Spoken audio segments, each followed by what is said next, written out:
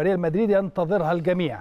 الكل في انتظار هذه المواجهة مواجهة الكبار عشان نشوف فريقنا اللي مشرف مصر والمصريين نادي القرن في إفريقيا وهو بيلاعب نادي القرن الأوروبي نادي ريال مدريد. النهارده في الأهلي في المونديال هنتابع كل كبيرة وصغيرة تخص معسكر الأهلي وكمان كل ما يخص أخبار البطولة. وزي ما وعدت حضراتكم من يومين قلت لكم إن هو شاء الله هيكون هناك تعاون مشترك ما بين قناة النادي الأهلي وقناة ريال مدريد. بداية التعاون كانت النهارده. الحقيقة أنا بشكر الجميع على أو كل من ساهم في تواجد هذا الأمر على شاشة قناة النادي الأهلي أو تواجد كواليس النادي الأهلي على شاشة قناة ريال مدريد. أنا بشكر زميلنا طبعا عمر البنوبي لأنه كان له دور في هذا الأمر. فالحقيقة النهارده بداية هذا التعاون المشترك اللي ما بين قناة النادي الأهلي وقناة ريال مدريد بعد قليل. إن شاء الله هنعرض لحضراتكم إحنا طبعا كل يوم بنعرض لحضراتكم كواليس النادي الأهلي وما يحدث في تمرين النادي الأهلي. ولكن النهارده بقى هنعرض لحضراتكم يعني حوالي دقيقة كده من تدريب ريال مدريد أو التدريبة الأخيرة لريال لنادي ريال مدريد اللي كانت في مدريد أو قبل السفر إلى المغرب وأيضا هنعرض لحضراتكم لحظات وصول اللي هي كانت منذ قليل يعني لحظات وصول فريق ريال مدريد إلى مطار مدريد عشان يركبوا الطيارة ويسافروا على الرباط في المغرب. دي ثمرة التعاون ما بين قناة النادي الأهلي وقناة ريال مدريد. أرحب بصديقي العزيز ونجمنا الكبير الكابتن هاني رمزي. كابتن هاني. مساء الفل عليك. يا اسلام مساء الخير على كل جماهير النادي الأهلي. يوم جديد ويعني ليلة سعيدة جديدة في الأهلي في المونديال. الحقيقة الخبر الكابتن إسلام قالوا خبر يسعد المصريين كلهم. الحقيقة لما يكون شراكة ما بين قناة النادي الأهلي وقناة ريال مدريد العملاق يعني الأوروبي دي حاجة تشرف كل المصريين. وخاصة جماهير النادي الأهلي اللي هتتابع وتشوف تدريبات ريال مدريد على قناته وكمان خلي بالكم إن كمان جماهير ريال مدريد تقدر كمان بتشوف كواليس وتدريبات النادي الأهلي فيعني بنتكلم على شراكة ما بين زي ما بقول ودايما يعني الكبار. العمالقة العملاق الأفريقي مع العملاق الأوروبي في شراكة يعني مميزة جدا جدا جدا ما بين قناة النادي الأهلي وقناة ريال مدريد. الحقيقة يعني كل يوم النادي الأهلي بيثبت على يعني بعيدا عن المستطيل الأخضر إن هو كمان رائد في كل المجالات. إحنا بنتكلم على شراكة بنتكلم على تعاون بنتكلم على انتشار كبير جدا جدا لشعار النادي الأهلي.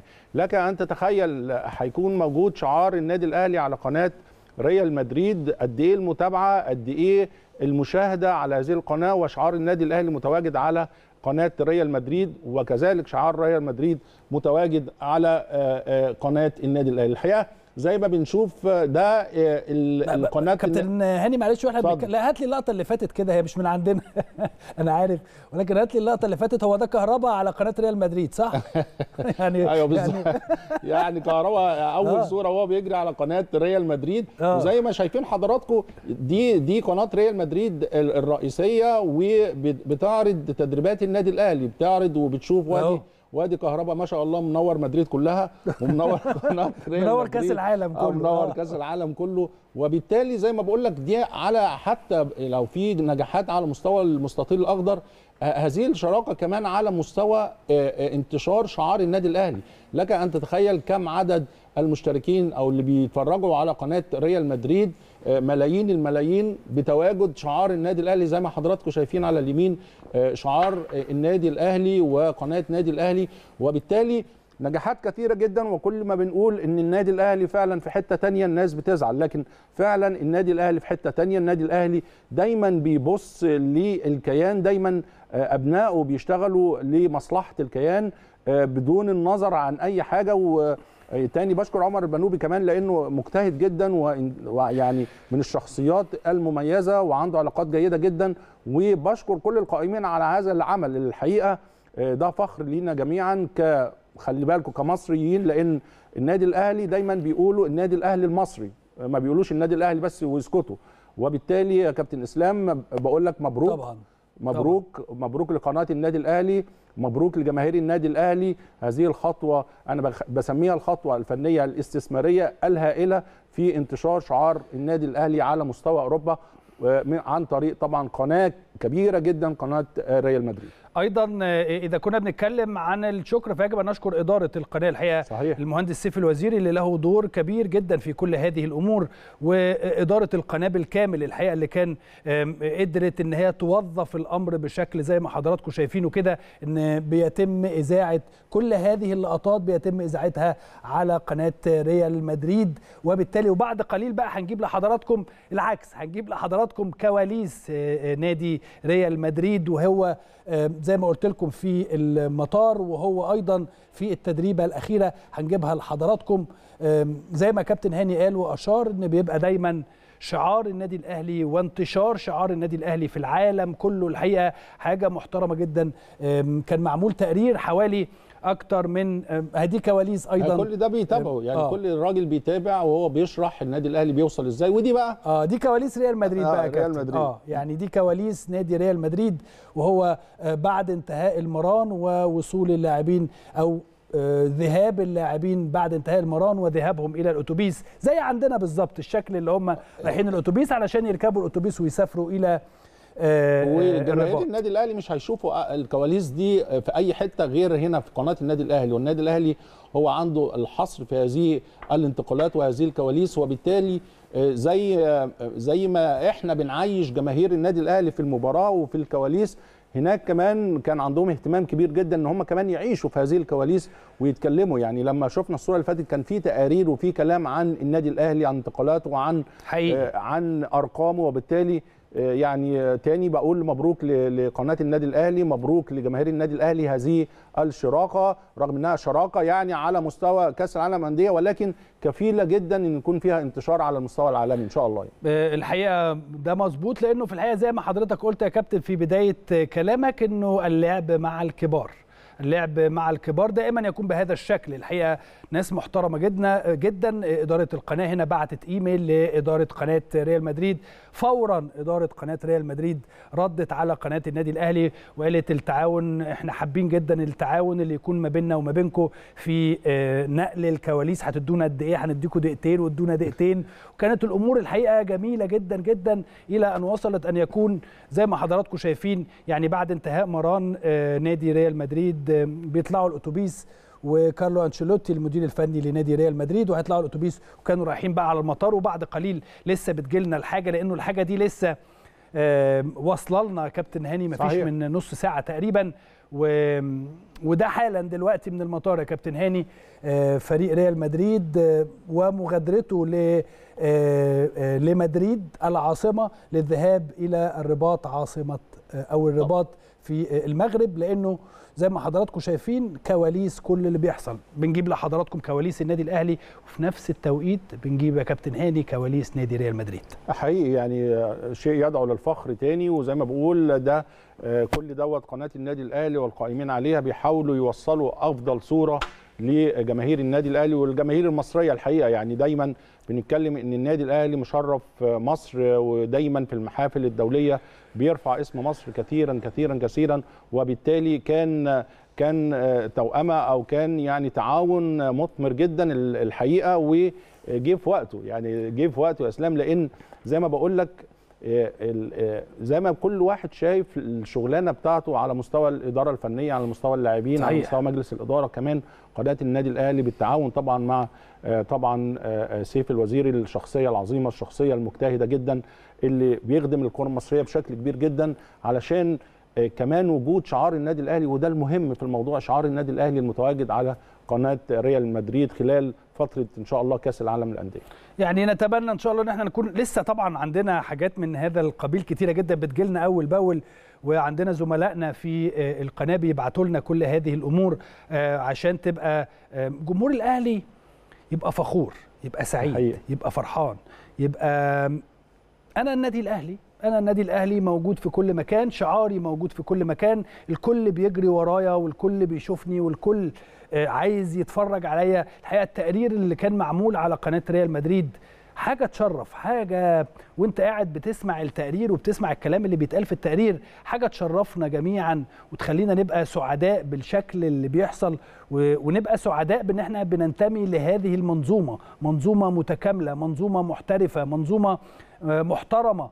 عندنا بنرد على كل الناس ولكن بنرد برد النادي الأهلي وبأسلوب النادي الأهلي وبطريقة النادي الأهلي. وهذا هو الفارق الكبير اللي إحنا أو هو ده الفارق الكبير ما بين قناة النادي الأهلي وأي قنوات أخرى. وهذا هو الإعلام اللي اللي بيقدمه النادي الأهلي واعلام النادي الأهلي. زي ما حضراتكم شايفين التعاون هو التعاون ده بيتعمل ليه؟ بيتعمل لأنه صورة النادي الأهلي في العالم كله.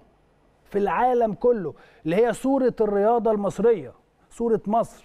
زي ما حضراتكم شايفين وزي ما قلت لحضراتكم لما بنتكلم عن حاجة اسمها القوة الناعمة هي دي القوة الناعمة اللي بنتكلم عليها. اللي إحنا الأسبان وهم قاعدين أو اللي بيشجعوا ريال مدريد أو اللي ما بيشجعوش ريال مدريد وبيتفرجوا على تقرير و يشوفوا إن اسم النادي الأهلي وشعار النادي الأهلي أعتقد إن ده شيء يشرفنا جميعا إن إحنا بننتمي لهذا النادي الكبير والعريق. دي طبعا التمرينه الأخيرة قبل وصول أو قبل سفر بعثة ريال مدريد. النهارده كانت النهارده الساعة 4 ولقطات من تمرين نادي ريال مدريد. حقيقي طبعا زي ما النادي الأهلي وجماهير النادي الأهلي والمصريين يحبوا يشوفوا الكلام دوت بيشوفوا كيف يستعد بطل أوروبا بشكل كبير جدا لمواجهة النادي الأهلي في نصف نهائي كأس العالم للأندية.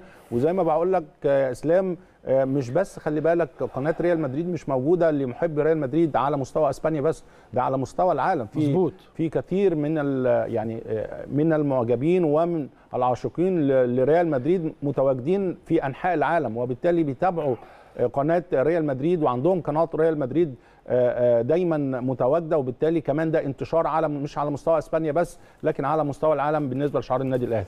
زي ما بقول لحضراتكم استعدادات شايفين كل اللعيبة مودريتش وتوني كروز بيستعدوا وإحنا يعني بنتكلم سعداء وأنا يعني أنا سعيد جدا وأنا بتكلم إن توني كروز ومودريتش بيستعدوا للقاء النادي الأهلي. يعني الحقيقة شيء شيء ان شاء الله بإذن الله يوم الأربعاء يكون إن شاء الله نعمل نتيجة أيضا يا كابتن هاني لو لم يحدث أي شيء إن شاء الله يعني إحنا عندنا اتفاق النهارده مع واحد من أساطير التدريب في نادي ريال مدريد ديل بوسكي. المدير الفني الأسبق لنادي ريال مدريد هيكون الساعة 11 ونص بتوقيت القاهرة هيكون معانا إن شاء الله.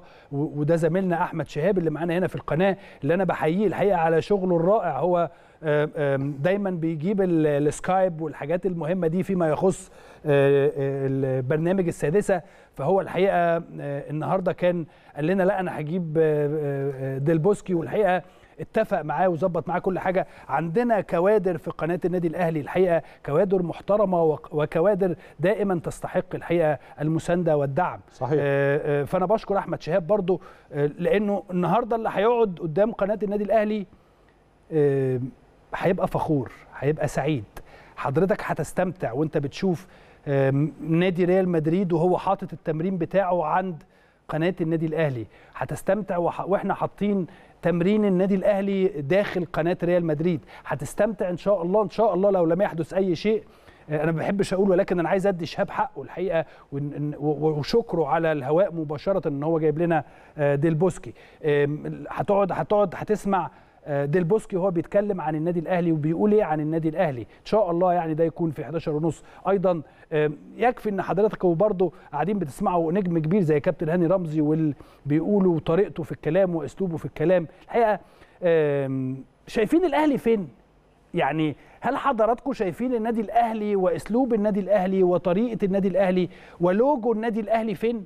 أنا بس حبيت إن أنا أوري لحضراتكم إن النادي الأهلي ده بالفعل هو فخر للرياضة المصرية. النادي الأهلي هو آه الوجه الرائع للرياضة المصرية أو للقوى الناعمة آه المصرية المتمثلة في النادي الأهلي. فشكرا لكل المسؤولين عن النادي الأهلي الحقيقة لإتاحتنا الفرصة إن إحنا نقدر نعمل حاجة زي دي. طبعا كل كل الاحترام والإشادة بكل واحد شغال في قناة النادي الأهلي اللي زي ما بنقول كمان بنحاول نقدم لكم شيء يليق بكيان النادي الأهلي لأن إحنا عارفين قناة النادي الأهلي تابعها الملايين وحقهم علينا إن إحنا نتكلم بلغة الاحترام وبلغة الأدب وبلغة الرياضة اللي اتعلمناها في النادي الأهلي. وكنا بنتكلم على انتشار النادي على مستوى العالم. النهارده كمان جريدة ماركا الأسبانية من أكبر الصحف على مستوى أسبانيا عملت الحقيقة تقرير مهم جدا عملته النهارده عن النادي الأهلي. خلال طبعا التغطية اللي بتقوم بيها لفريق ريال مدريد واستعداداته لمباراة النادي الأهلي.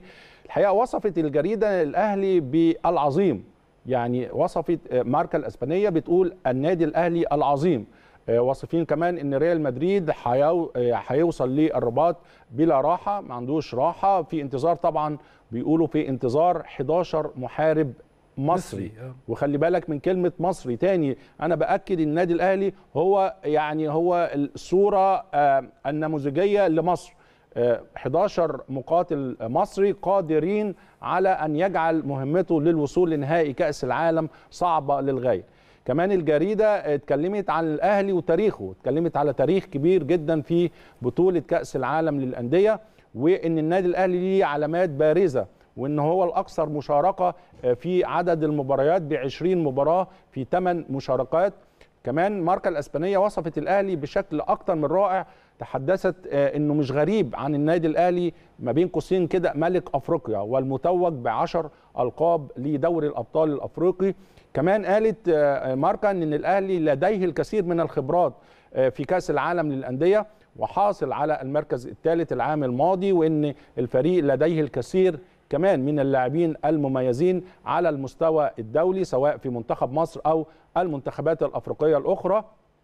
بالتأكيد الكلام اللي اتقال أو التقرير اللي اتقال ده يا كابتن إسلام كمان مراية طبعا. إزاي الناس في أوروبا وفي العالم شايفين النادي الأهلي. تقرير أكتر من رائع من أكبر الصحف على مستوى إسبانيا وهو على المستوى الأوروبي ماركا الإسبانية وعاملة تقرير أكتر من رائع للنادي الأهلي. الحقيقة مش بركه بس يا كابتن هاني ولكن كل الصحف العالمية بتتغنى. بالنادي الأهلي وبما يفعله النادي الأهلي. وهو ده اللي بيخليني أبقى سعيد جدا جدا وأنا إن أنا بنتمي ولو لجزء صغير. حضرتك وكل العاملين في النادي الأهلي أو كل المنتمين للنادي الأهلي ومحبين النادي الأهلي بيكونوا فخورين باللي إحنا شايفينه فخورين بما يحدث على شاشة قناة النادي الأهلي فخورين بما يحدث على شاشة قناة ريال مدريد فخورين بما يحدث في كل الصحف العالمية وذكر اسم النادي الأهلي دائما ما يكون بالشكل الإيجابي. خلينا نروح نشوف تقرير عن الصحف العالمية وهي تتغنى بمواجهة النادي الأهلي وريال مدريد ونرجع نكمل مع حضراتكم.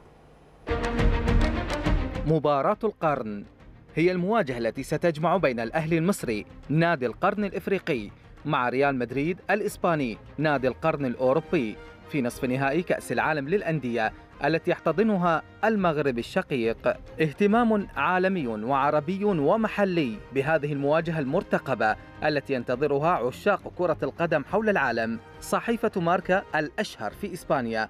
عنونت مقالا عن المواجهة المقبلة. ذكرت فيه أن ريال مدريد في الرباط ينتظره أحد عشر محاربا مصريا من ملك إفريقيا وأن ريال مدريد سيصل إلى الرباط لخوض معركة كرة قدم. مع استعداد لاعبي الأهلي الذين وصفتهم بالمحاربين المصريين لجعل المباراة مهمة مستحيلة على فريق العاصمة الإسبانية. ذكرت فيه أيضا أن المواجهة بالنسبة للأهلي هي الأكثر أهمية في تاريخه بعد أن اجتاز مرحلتين دون أن تهتز شباكه أمام أوكلاند سيتي نيوزيلندي وسياتل ساوندرز الأمريكي. وأن الأهلي هو الفريق الأكثر لعبا للمباريات في كأس العالم بواقع 20 مباراة بفضل مشاركته ثمان مرات. لذلك ليس من المستغرب أن يمتلك ملك إفريقيا صاحب الألقاب العشرة لبطولة دوري أبطال إفريقيا كما أن الفريق حقق المركز الثالث في النسخة الأخيرة من كأس العالم للأندية كما عنونت صحيفة آس أكبر الصحف الإسبانية في عنوانها الأهلي يواجه ريال مدريد. المصريون فازوا على سياتل ساوندرز بهدف أفشى الذهبي في الدقيقة الثامنة والثمانين ليتأهلوا لنصف النهائي أمام ريال مدريد. وأن دخول محمد شريف أدى لتنشيط الفراعنة فيما سلطت صحيفة ديلي ميل البريطانية عنوانها على فوز الأهلي وذكرت حسرة بامتياز لفريق سياتل ساوندرز الأمريكي. سببها الخصوم المصريين بفوزهم في الدقيقة الثامنة والثمانين ليتقدموا لمواجهة ريال مدريد في نصف نهائي كأس العالم للأندية. كما عنون موقع مدريد يونيفرسال أن ريال مدريد أصبح على موعد مع مواجهة عملاق الكرة المصرية النادي الأهلي. فيما عنون موقع فرانس 24 أن الفوز المتأخر عن طريق أفشا يصنع نصف نهائي بين الأهلي وريال مدريد. كما عنون موقع MLS الدوري الأمريكي الأهلي يقصي سياتل ساوندرز بحسرة من كأس العالم للأندية. فيما عنون موقع البرنابيو سبانيول الأهلي يهزم سياتل ساوندرز ليواجه ريال مدريد في نصف نهائي كأس العالم للأندية. متضمنا أن الأهلي المعروف بملك إفريقيا. الذي وصل إلى نصف نهائي المسابقة بعد فوزه على سياتل ليتمكن الفريق المصري مواجهة أكبر نادي في العالم. وأن مارسيل كولر اللاعب عشاق وجمهور النادي الأهلي على موعد مع هذه المباراة التاريخية للكرة المصرية وللنادي الأهلي. هذه المباراة التي تجمع ما بين النادي الأهلي نادي القرن في إفريقيا وريال مدريد الأسباني بطل أوروبا. الأهلي هو أكثر الأندية المصرية والعربية التي اعتادت مواجهة كبار أوروبا ولعل أبرز وأقدم مباريات المارد الأحمر مع أندية أوروبا فوزه على فنار بخشة التركي بنتيجة 6-2 سنة 29 في نفس العام تغلب على مواطنه جلطة سراي بهدف للا شيء. أعتقد أن دي كانت البداية. لهذه المواجهات الكبرى. ثم تواصلت اللقاءات و حتى وصلنا لغاية 2001 كابتن هاني 2001 كنا أيضا لعبنا ريال مدريد وكانت صحيح. المباراة دي الحقيقة أنا أتذكر طبعا ما كنتش موجود في الملعب لكن أتذكر إنه كان كل جمهور النادي الأهلي متواجد في المدرجات. وكنا لاول مرة بقى بنشوف لعيبة لعيبة ريال مدريد موجودين على استاد القاهرة. صحيح كانت مباراة يعني مباراة كمان كانت مباراة ودية ولكن كانت مباراة تاريخية كمان للنادي الأهلي لأن كل عمالقة ريال مدريد كانوا بيلعبوا يعني على مستوى الفول تيم على مستوى كمان الاهتمام بهذه المباراة. وكانت الحقيقة مباراة جيدة جدا على المستوى الفني على المستوى الحضور الجماهيري. أكيد كان الاستاد كان متقفل على آخره وكان يعني كانت صورة رائعة كمان لمباراة ما بين كبيرين زي ما بنتكلم النادي الأهلي ونادي ريال مدريد. الحقيقة في 2000 2000 كان هدف طبعا سجله النيجيري 2001 طبعا سانداي اللاعب المتميز جدا أحرز هدف. واعتقد هذا الهدف ما زال في ذاكرته وما زال يعني أكيد أكيد لما بيتكلم على أجمل لحظات حياته بيتذكر هذا الهدف. يعني أنا أعتقد إن سانداي هو علامة مميزة لمباراة ريال مدريد. يعني عندنا في جمهور النادي الأهلي هنجيب لحضراتكم الهدف أهو. إن شاء الله إحنا هنذيع لحضراتكم المباراة مباراة الأهلي وريال مدريد كاملة اللي هي بتاعت سنة 2001, 2001 يعني. مش مش مش بتاعت يوم الأربعاء. لكن أتمنى طبعا إن أنا أذيع لحضراتكم مباراة يوم الأربعاء. ولكن دي هنذيع لحضراتكم مباراة الأهلي وريال مدريد اللي كانت سنة 2001 كاملة. إن شاء الله يعني النهارده بكره هنقول لحضراتكم على الهواء مباشره متى سيتم إذاعة هذه المباراة فده سانداي اللي هو أحرز هدف المباراة لو تفتكر سانداي عمل حاجات أخرى لا هو سانداي معلم هو مع جمهور الأهلي أسماء بعلامة في المباريات بتبقى بص جمهور الأهلي يا كابتن لا، معلش. أنا آسف إن أنا قطعت. حضرتك ولكن طبعا, طبعا ال- الصورة رائعة وجماهير النادي الأهلي مالية المكان وهدف كمان أعتقد 90% كان آه، كابتن حسام غالي هو اللي عمله لكن آه، آه. زي ما انت بتقول دايما في مباريات في- اسم لعيب معين يعني في. مباريات كده بتسمى بأسماء اللاعبين أعتقد سانداي طبعا هي دي من أبرز علامات تاريخه الكروي وذكرياته مع النادي الأهلي هذا الهدف التاريخي في ريال مدريد سنة 2001 ده طبعا كابتن حسام غالي بيعدي ويعني هو كان ممكن يحطها بس قال لك خلاص ساندي يعني لا، هو ساندي نديله يعني- اللقطة يعني. نديله لا حسام اللقطة. حسام هو لو عليك أنا عايز هو اللي يجيبها.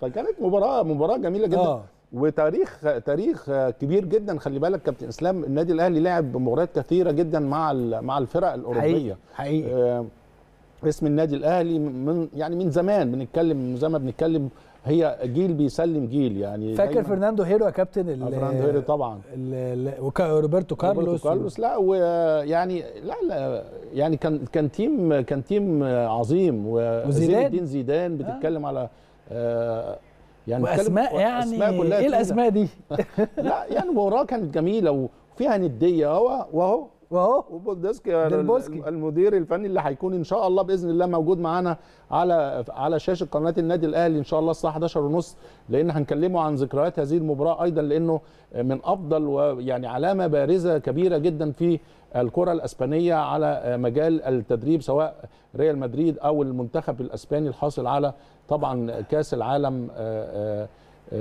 مع المنتخب الإسباني. علاء إبراهيم الحقيقة برضو عمل كان هيجيب جون أهو. عموما المباراة بالكامل هتكون مع حضراتكم إن شاء الله. إن شاء الله هنحاول نذاعها لحضراتكم النهارده أو بكرة وأعتقد إن هي كمان هتكون بتعليق العظيم كابتن ميمي الشربيني. فيعني هتبقى إن شاء الله إن شاء الله يعني مباراة ممتعة. ونشوف إيه اللي هيحصل في هذه المباراة. كابتن هاني معانا فيديو لساندي ساندي أحرز هدف مباراة الفوز أو هدف الفوز في مباراة ريال مدريد والنادي الأهلي اللي كانت مقامة على استاد القاهرة في سنة 2001 الحقيقة وصلنا لساندي وعمل الفيديو اللي هنوريه لحضراتكم. خلينا نطلع نشوف ماذا قال ساندي عن هدف الفوز. للنادي الأهلي أمام ريال مدريد ونرجع نكمل.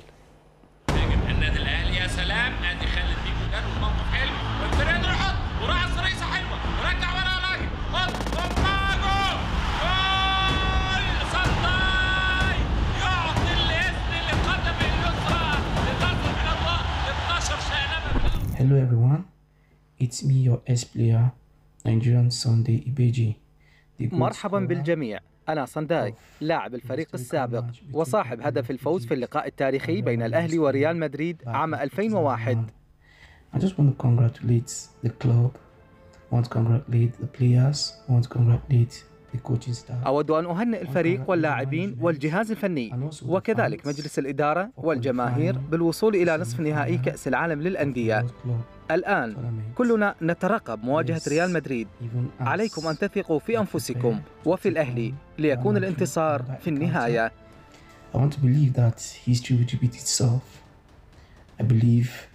أتمنى لكم كل التوفيق وكذلك كل الحظ. وأدعو لكم بالوصول إلى المباراة النهائية. ننتظركم في نهائي هذه البطولة الكبرى. Thank you.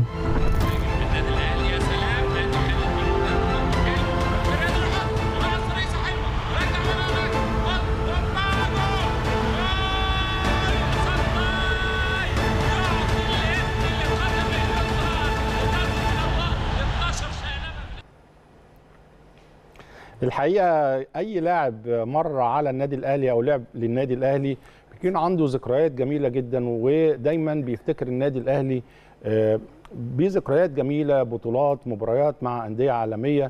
الحقيقة آه، ده كمان آه، علامة من علامات النادي الأهلي. كل من ينتمي للنادي الأهلي سواء من أبنائه سواء من القادمين من الخارج المحترفين من الخارج النادي الأهلي دايما بيسيب بصمة داخل هؤلاء اللاعبين وعلى مستوى اللاعبين على مستوى المدربين أو المديرين الفنيين اللي كانوا موجودين في النادي الأهلي تلاقي كل الناس بتعتز بهذا أو بهذه الفترة اللي قضاها في آه، آه، ما بين جدران النادي الأهلي سواء علاق- علاقته مع اللاعبين أو الجماهير أو الإدارة.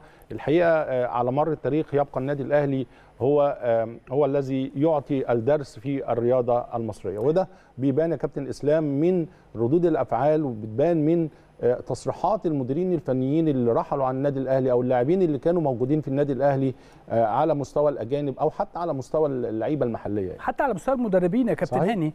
يعني أنا أعتقد إن علاقة كل جماهير النادي الأهلي مع مانويل جوزيه مثلا علاقة أبدية يعني صحيح. هم بيحبوه مهما عمل مهما قال مهما بتاع لكن يظل دائما مانويل جوزيه حتى بيتسو موسيماني علاقة جميلة جدا مع جمهور النادي الأهلي اعتقد ريكاردو سواريش حتى المدير الفني السابق للنادي الأهلي اللي ما قعدش تقريبا 3 4 شهور وانتهى عقده أو مشي يعني من النادي الأهلي برضه علاقته جيدة ومؤخرا عندما فاز بأفضل مدير فني في البرتغال قال زمان ديتريش فايتسا على سبيل المثال. فايتسا من الناس ال- الالمان اللي جم اشتغلوا وع- وعمل شغل كبير جدا جدا مع النادي الأهلي وما زالت بصمته وهو كمان آه، يعني بيتحدث كثيرا في ألمانيا عن تجربته مع النادي الأهلي. وبالتالي هي هو ده هي دي علاقة الاحترام المتبادلة ما بين النادي الأهلي وما بين مدربين وما بين لاعيبته آه، على مستوى على مستوى على مستوى الاحترافي خلينا نتكلم بكل أمانة يعني.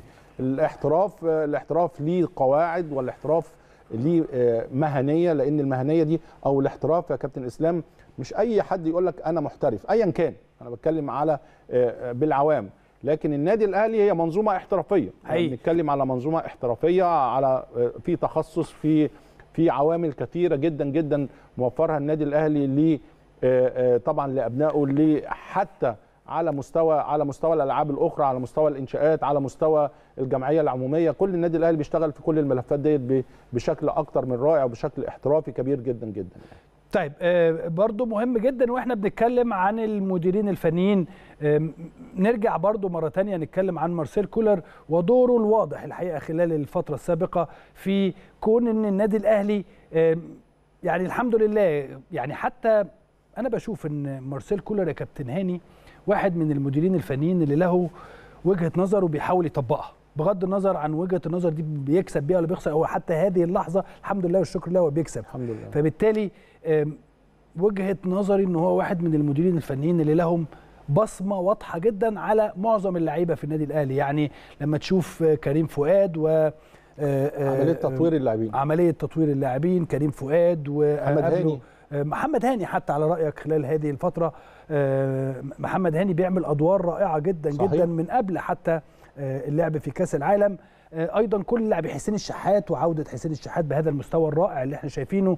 كل الحاجات دي يا كابتن أعتقد بتحسب لمارسيل كولر مفيش شك يعني هو هادي الطباع ولكن حاد في الأوقات المناسبة بشكل وعنده بلان وعنده وعنده رؤية جيدة جدا وبيتعامل مع اللاعبين بشكل أكتر من رائع وده مهم جدا علاقته ما بين ما بينه وما بين اللاعبين. عملية تطوير اللاعبين الملاحظ فيها تطور على مستوى هايل. يعني بنتكلم على محمد هاني ما شاء الله تطور بشكل كبير جدا. حسين الشحات وعودة قوية جدا لفورمته.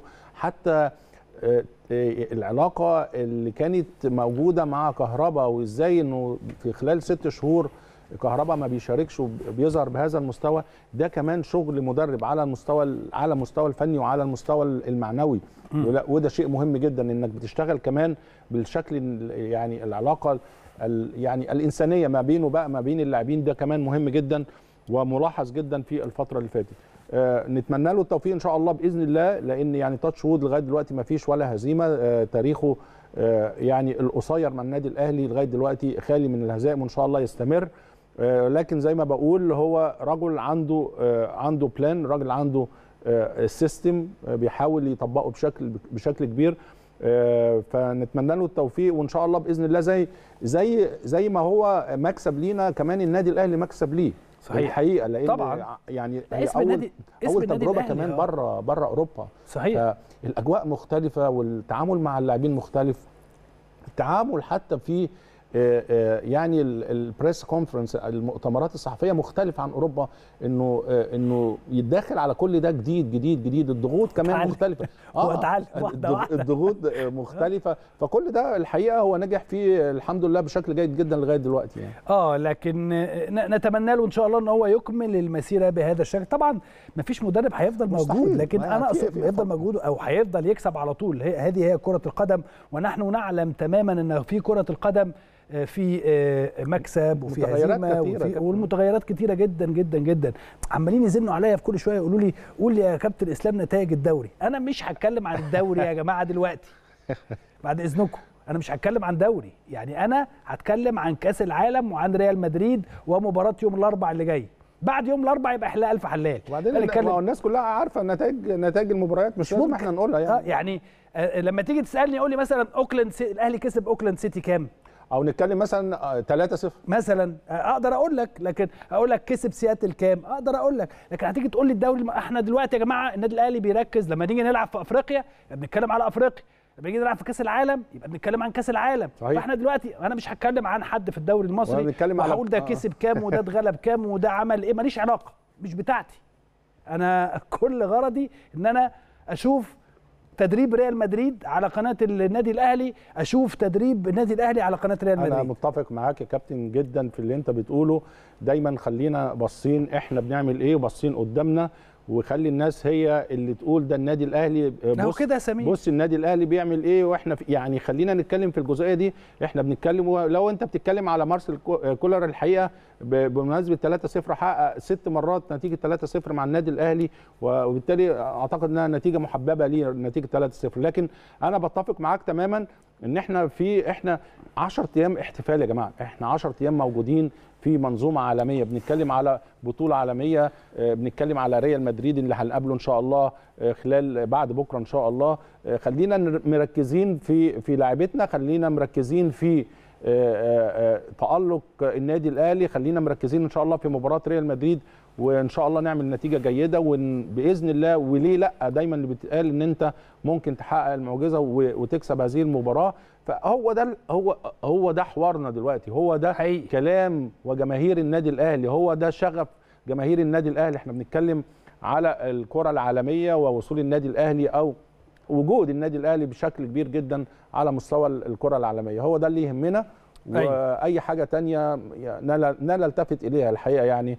لما يجي الدوري والنادي الأهلي يرجع بالظبط كده. هنبقى يرجع- نتكلم عن الدوري بقى- الدوري اللي بيودينا لهنا هنتكلم بالمناسبة. بقى على الأهلي ونتكلم على الفرق الثانية فاركو والمصري والإسماعيلي و و و يعني نتكلم, هنتكلم عن كل الأندية. الفرق وفي وقتها يعني. لأنه في الآخر هو الدوري هو اللي بيوديك إن أنت تلعب في أفريقيا واللي بيوديك تلعب في كأس العالم للأندية. صحيح. فبالتالي لكن إحنا دلوقتي يا جماعة زي ما حضراتكم شايفين حضرتك بت- بتبص على أو بتشوف لاعيبة نادي ريال مدريد وهم بيتمرنوا استعدادا لمباراة يوم الاربعاء أمام النادي الأهلي على شاشة قناة النادي الأهلي بتشوف كارلو أنشيلوتي هذا المدرب الكبير والعبقري اللي موجود مع على فكرة بيواجه انتقادات شديدة جدا خلال هذه. الفترة مع ريال مدريد ده حقيقي يعني آه. أوه. كانت بداية الدوري كانت جيدة جدا لكن في آه، اهتزاز كبير جدا جدا في مستوى ريال مدريد واتساع الفارق ما بينه وبين آه، برشلونة أعتقد وصل لخمس أو ست نقاط دلوقتي، كمان أو يعني. ثمان نقاط بعد الهزيمة من آه، ريال مايوركا. آه، عنده إصابات كثيرة جدا. ويعني هو الراجل يعني مش هقول في في إقالة أو استقالة لكن أنشيلوتي من المدربين العظماء في تاريخ الكرة العالمية مش في أسبانيا بس.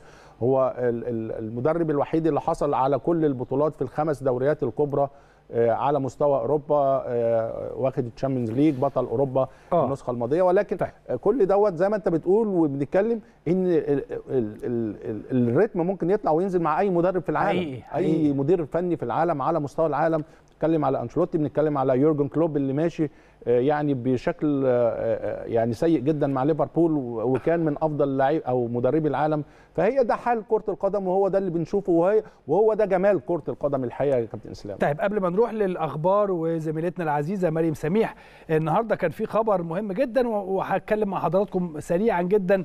ال- المهندس خالد بما إننا بنتكلم عن العالمية يعني مهندس خالد مرتجي النهارده دايما نقول لك إيه وزير خارجية النادي الأهلي. المهندس خالد مرتجي وأمين صندوق النادي الأهلي والمنسق العام لبعثة النادي الأهلي في مونديال الأندية اتكلم في دبلومة الفيفا لتطوير الأندية ممثلا للنادي الأهلي بما إننا بنتكلم بقى عن العالمية ووجود النادي الأهلي في كل المجالات في صحيح. قناته زي ما حضراتكم شايفين في بعثته زي ما حضراتكم شايفين في أسلوبه في طريقته في كل شيء وذلك كان النهارده في حضور ممثلي أكبر الأندية العالمية مثل ليفربول واليوفنتوس وآياكس وأودينيزي والعديد من الأندية الأوروبية التي قامت جميعها بالحديث عن تجربتها مع كرة القدم والأسال- والأساليب اللي انتهجتها حتى تبوأت تلك الم- المكانة المميزة عالميا. المهندس خالد مرتجي تكلم عن نشأة النادي الأهلي وتاريخه وبطولاته وأرقامه القياسية وقياداته وكيف انتقل إلى نادي محترف من الدرجة الأولى آه، على كافة آه، المستويات.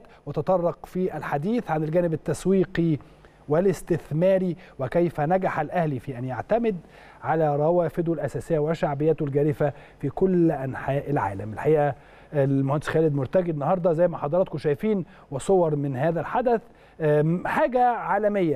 فيش حاجة رائعة حاجة هو الم- جميلة جدا المهندس خالد مرتجي هو ال- الصوت العالمي وال يعني هو المختص بالملف آه، في آه، آه، الخارجي للنادي الأهلي. آه، يعني هو اتكلم على كل نقاط كثيرة جدا وده اللي بيوضح قد إيه إن حتى جزء الرعاية كيف يكون الرعاة هم اللي يسعوا للتعاقد مع النادي أيوة. الأهلي وده شيء مهم جدا. نتكلم على النقطة الاستثمارية.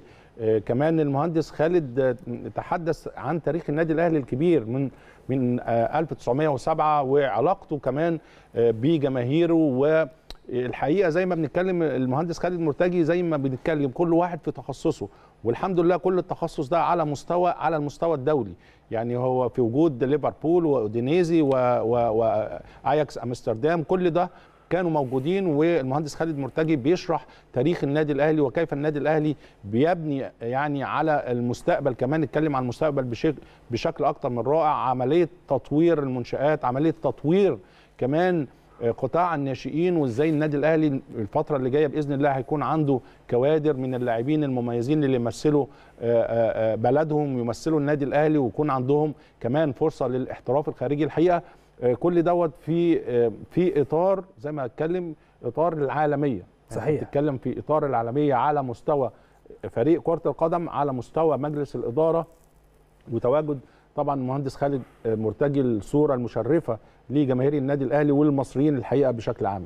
الحقيقة خبر مهم جدا واستعراض أكثر من رائع للمهندس خالد مرتجي واجهة مشرفة الحقيقة للنادي الأهلي ولكرة القدم المصرية وللقوى الناعمة لمصر كاملة الحقيقة بهذا الشكل. واحد من أعضاء يعني مجلس الإدارة السابقين وامين صندوق النادي الحالي اللي بيعملوا بكل إخلاص لهدف واحد وهو وكل أعضاء مجلس إدارة النادي الأهلي برئاسة الكابتن محمود الخطيب والاستاذ العمري فاروق وكل الأعضاء اللي موجودين. هدفهم هو شيء واحد فقط إسعاد جماهير النادي الأهلي واعضائه يا كابتن هاني. ده حقيقي ده حقيقي وده وده الأساس باحترافية كاملة. خلينا نتكلم كمان لازم نتكلم ولازم هنقول ونفضل نقول لأن هو ده الأساس. اولا النادي الأهلي بيشتغل باحترافية كاملة. نعم. النادي الأهلي بيدي كمان بيدي مثل يعني ما بيهتمش بس بالحاضر لا ده كمان بيبص للمستقبل بشكل كبير سواء لخدمة الجمعية العمومية أو سواء بإرسال رسائل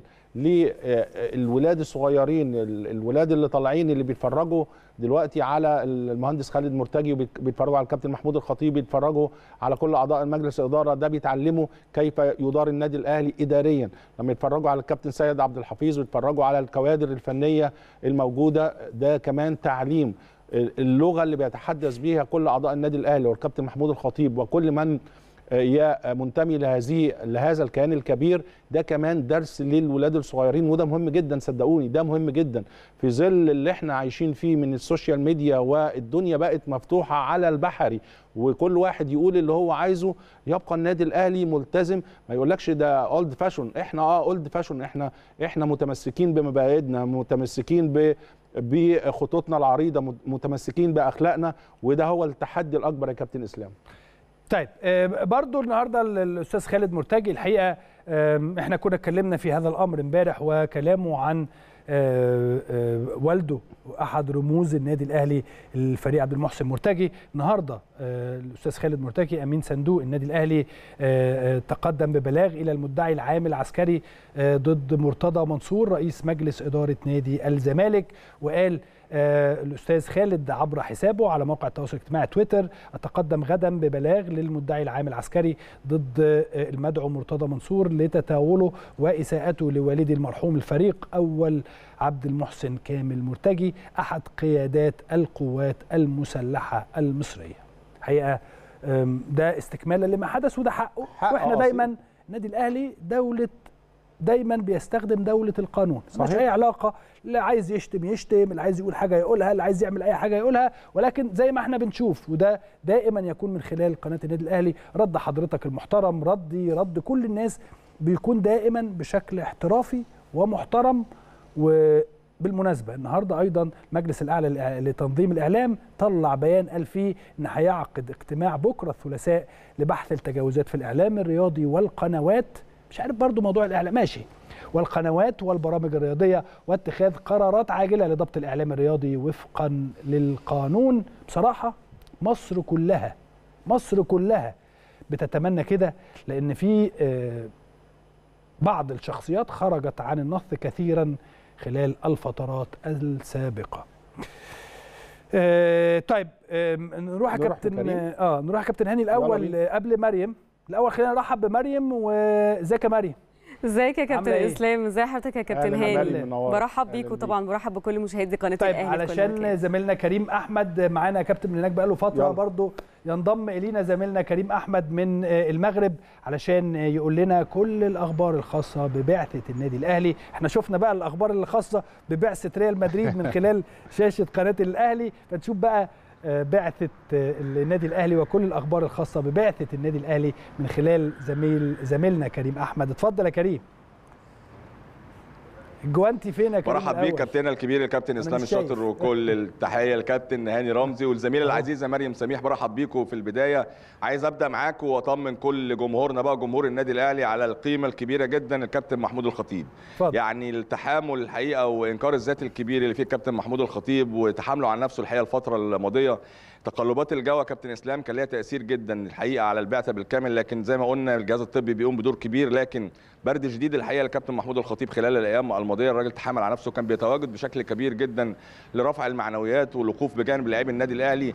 لكن يعني الأمر كان صعب شوية. أنا عايز أقول لك من لحظات كابتن أسامة حسني الحقيقة اللي يمكن وصل منذ لحظات أو من صباح اليوم العميد علاء صلاح المنسق الأمني أيضا كمان الدكتور أحمد ابو عبله كانوا متواجدين في أحد المستشفيات القريبة جدا من فندق الإقامة للاطمئنان بشكل كبير جدا على كابتن محمود الخطيب بطمن كل جمهور النادي الأهلي. الحمد لله يمكن هي نزله برد شوية لكن إن شاء الله بإذن الله يكون متواجد مع فريق النادي الأهلي ويكون مؤازر كالعادة في مباراة الأهلي وريال مدريد الحمل الكبير. لكن بنطمن كل الجمهور الأمور طيبة إن شاء الله بإذن الله. القيمة الكبيرة ما بتكون متواجدة سواء متواجد بكلماته بتحفيزه برسائله بتكون ليها تأثير كبير جدا. فكنا حابين نبدأ في البداية نطمن كل جمهور النادي الأهلي على حالة القيمة الكبيرة للكابتن محمود الخطيب رئيس النادي الأهلي. نرجع كمان كالعادة لجمهور النادي الأهلي ونطمنه على حالة اللاعبين اليوم النهارده طيب قبل ما نتكلم عن حالة اللاعبين يا كريم طبعا اتفضل قبل ما نتكلم عن حالة اللاعبين اولا يعني اللي أنا فاهمينه عشان يبقى جمهور النادي الأهلي فاهم لهذا الأمر. كابتن محمود الخطيب الحمد لله أموره أنا قلت من يومين ثلاثة إن هو عنده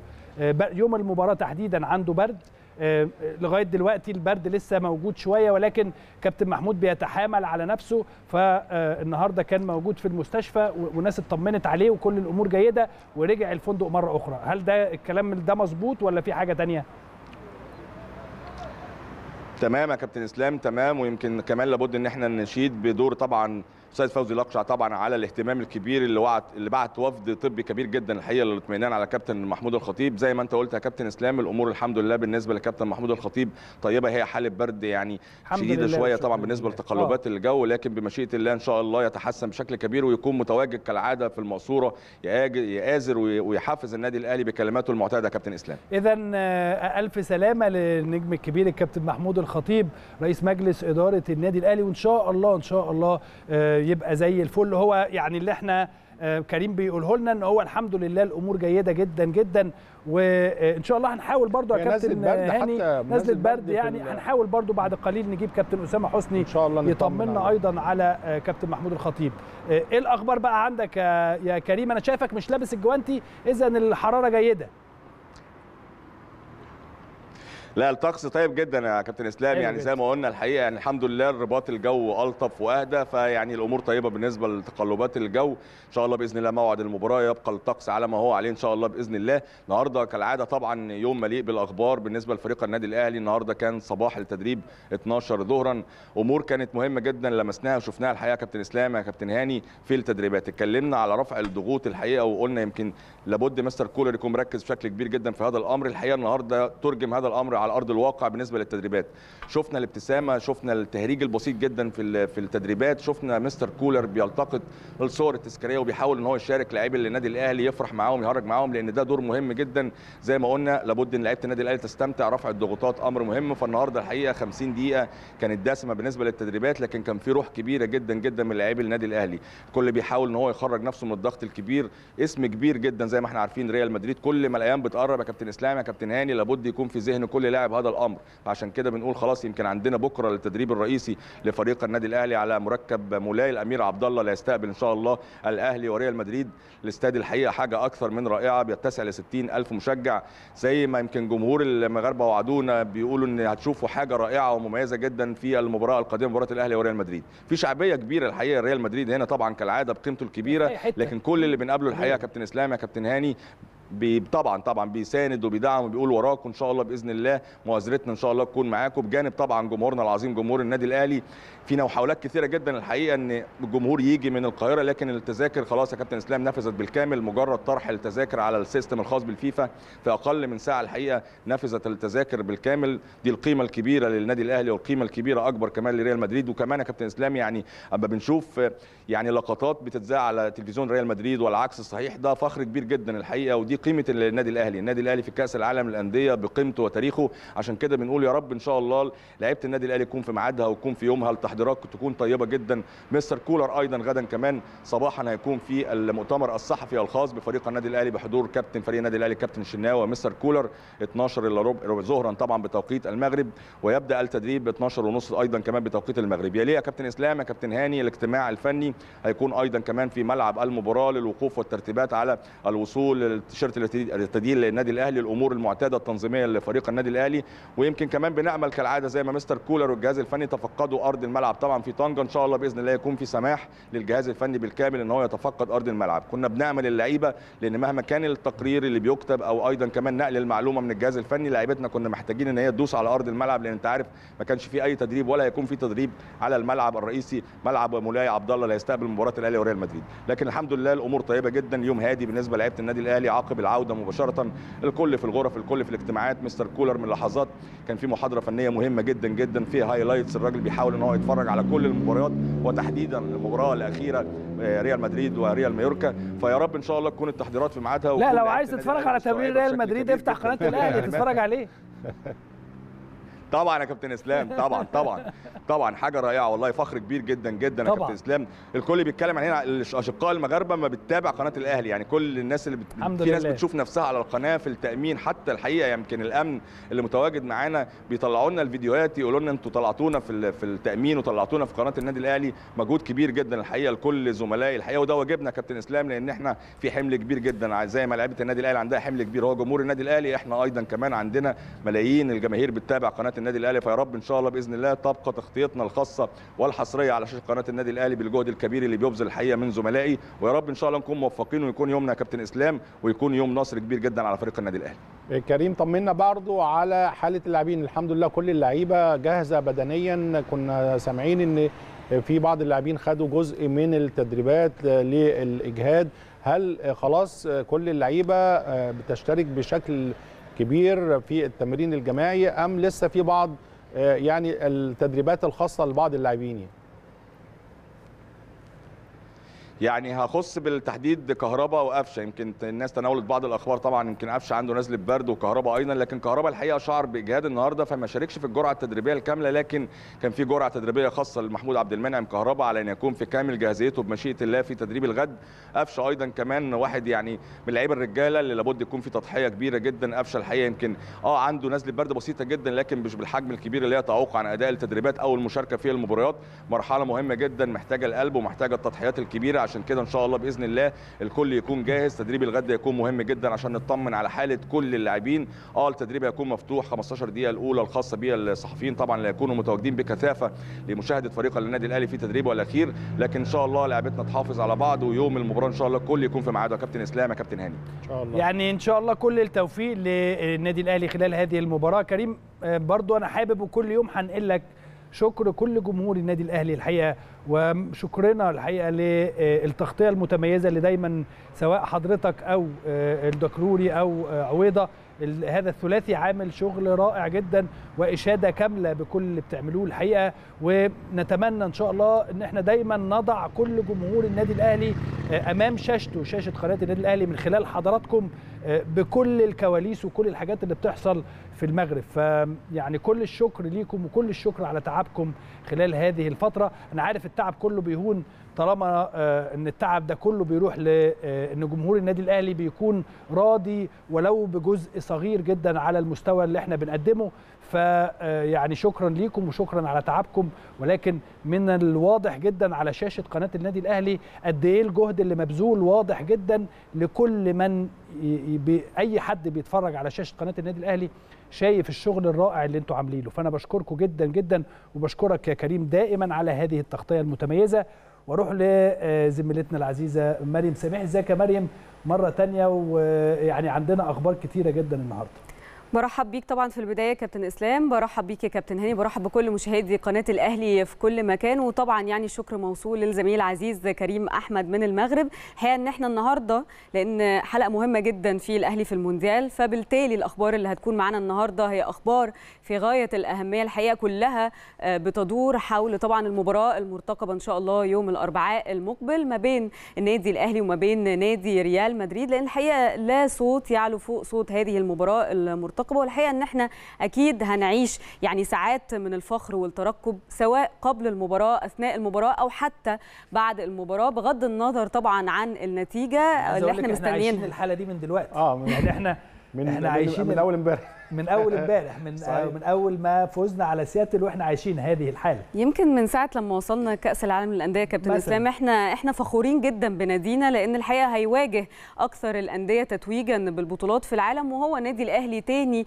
أكثر أندية تتويجا بالبطولات فأكيد هتكون مواجهة كبيرة جدا بما تحمله كل يعني الكلمة من معاني فأكيد هيكون معانا هذه الأخبار ما بين طبعا يعني البطولات أو نادي القرن الإفريقي ونادي القرن الأوروبي خلينا بقى نبدأ أخبارنا والحقيقة ان أنا هاخد من كلام طبعا زميلي العزيز كريم أحمد ونبدأ طبعا أخبارنا أخبار المونديال من النادي الأهلي. عبر طبعا الكابتن محمود الخطيب عن شكره وتقديره إلى فوزي لقجع رئيس الجامعة المغربية لكرة القدم والذي حرص على إرسال وفد طبي ظهر اليوم إلى مقر إقامة البعثة بالرباط للاطمئنان على صحة رئيس الأهلي واصطحابه إلى أحد المستشفيات لإجراء بعض الفحوصات الطبية بعد نزله البرد الشديده التي ألمت به قبل يومين وأكد على امتنانه الشديد لكل الأشقاء المغاربة والسيد فوزي لقجع لما تلقيه بعثة الأهلي من اهتمام ورعاية ومساندة منذ لحظة الوصول إلى دولة المغرب الشقيقة.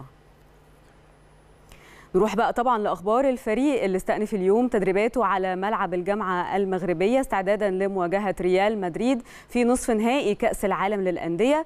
وشدد طبعا سيد عبد الحفيظ مدير الكرة وجمال جبر مدير الإعلام مسؤولي اللجنة المنظمة بإغلاق المران أمام وسائل الإعلام وفقا لرغبة الجهاز الفني للفريق.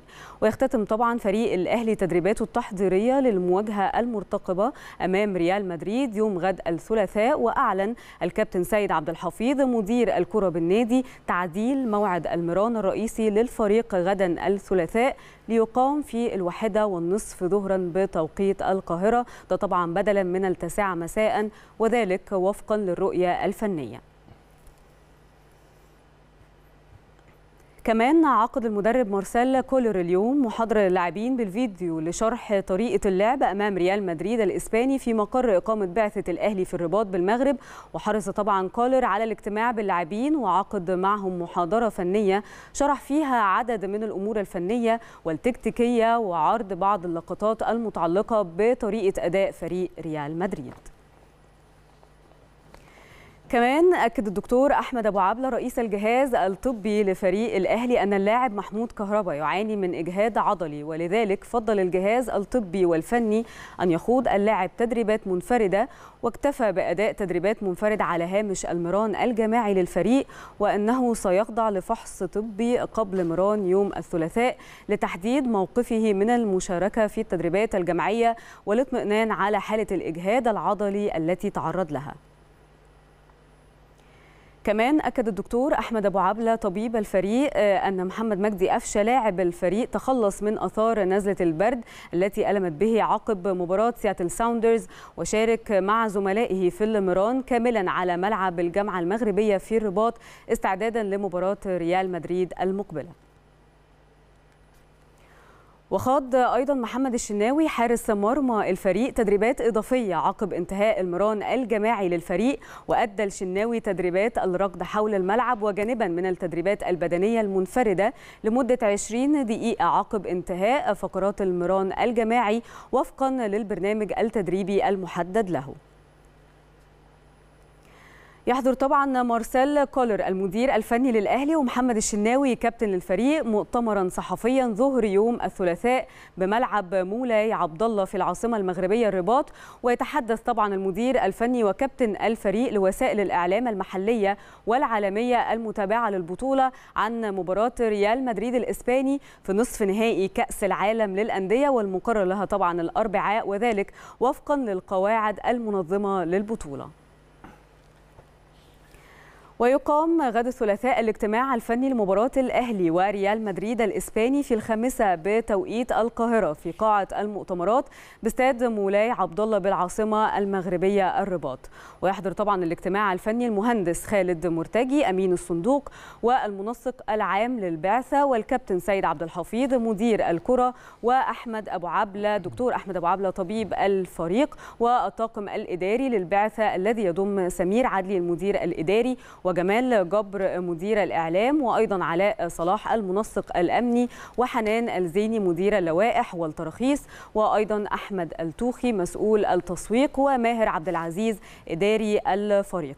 ويحضر الاجتماع أيضا الطاقم الإداري والفني لفريق ريال مدريد الإسباني ومسؤول اللجنة المنظمة فيفا وطاقم تحكيم المباراة. وطبعا تعرض اللجنة المنظمة على وفد الناديين كافة الأمور التنظيمية والإدارية الخاصة بمباراة نصف النهائي لبطولة كأس العالم للأندية.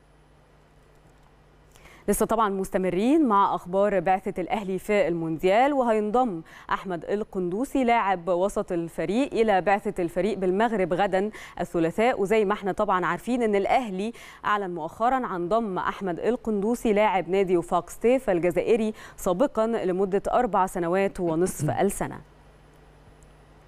طبعا يعني زي ما اتكلمتوا يا كابتن هاني وكابتن إسلام عن طبعا في ال intro عن الصحف العالمية اللي أكيد بتغطي طبعا هذه المباراة المرتقبة. طبعا إحنا معانا النهارده أكيد خبر من موندو ديبورتيفو الإسبانية. أكيد نشرت مقال بعنوان الأهلي المصري أنجح الأندية في العالم ومنافس ريال مدريد. وذكرت طبعا فيه أن الأهلي المصري هو فريق حصل على أكثر من 140 لقب في تاريخه الممتد 116 عام. وهو علامة فارقة تجعل من نادي القاهرة الأكثر نجاحا في تاريخ كرة القدم. كما ذكرت أيضا الصحيفة أن ما عليك إلا أن ترى درع الفريق المصري المتوج بأربعة نجوم تمثل 40 بطولة محلية فاز بها على مدار تاريخه في حين أن عشرة نجوم أخرى تقع في الجزء السفلي من الشعار وفيها عدد بطولاته العشر في دوري أبطال إفريقيا وهذا ليس أكثر ولا أقل. فالأهلي هو النادي الإفريقي للقرن العشرين برصيد 124 طبعا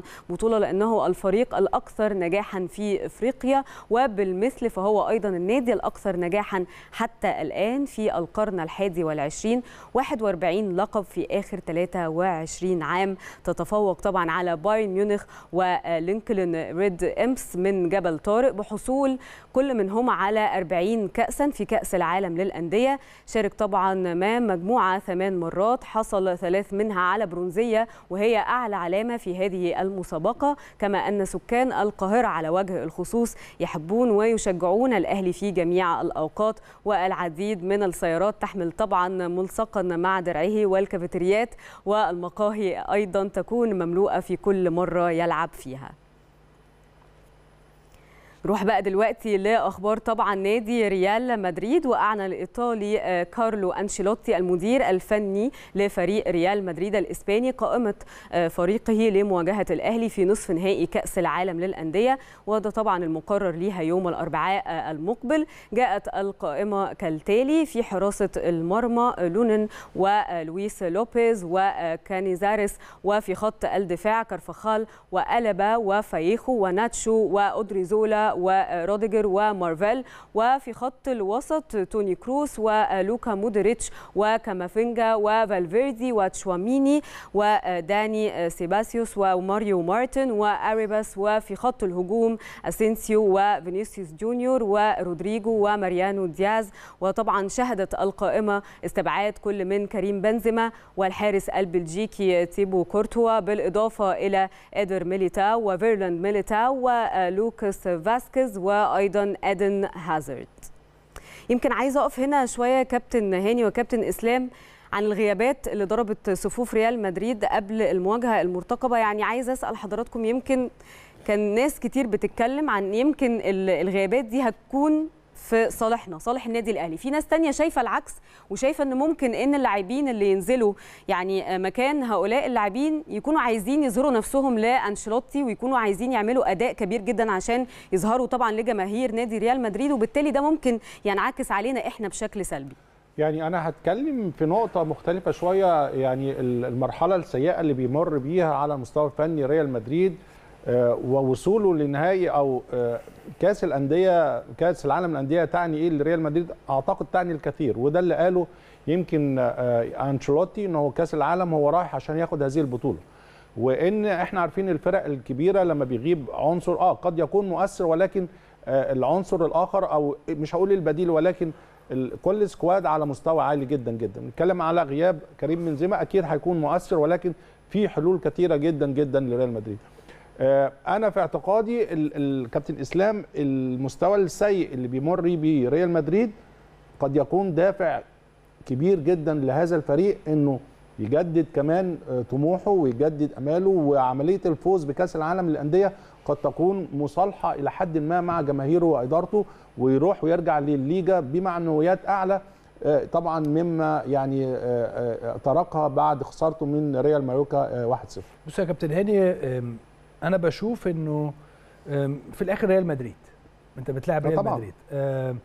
عنده مستوى سيء عنده الأمور مش جيدة عنده إصابات ولكن إذا كسبت فأنت هتكسب ريال مدريد. إذا خسرت فأنت بتخسر من ريال مدريد.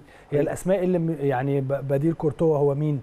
بديل كريم بنزيما هو مين؟ كلها أسماء كبيرة جدا وعلى الأقل لعبت مش أقل من 30 أو 40 مباراة في الدوري الأسباني وبالتالي أو يمكن أكتر من كده كمان.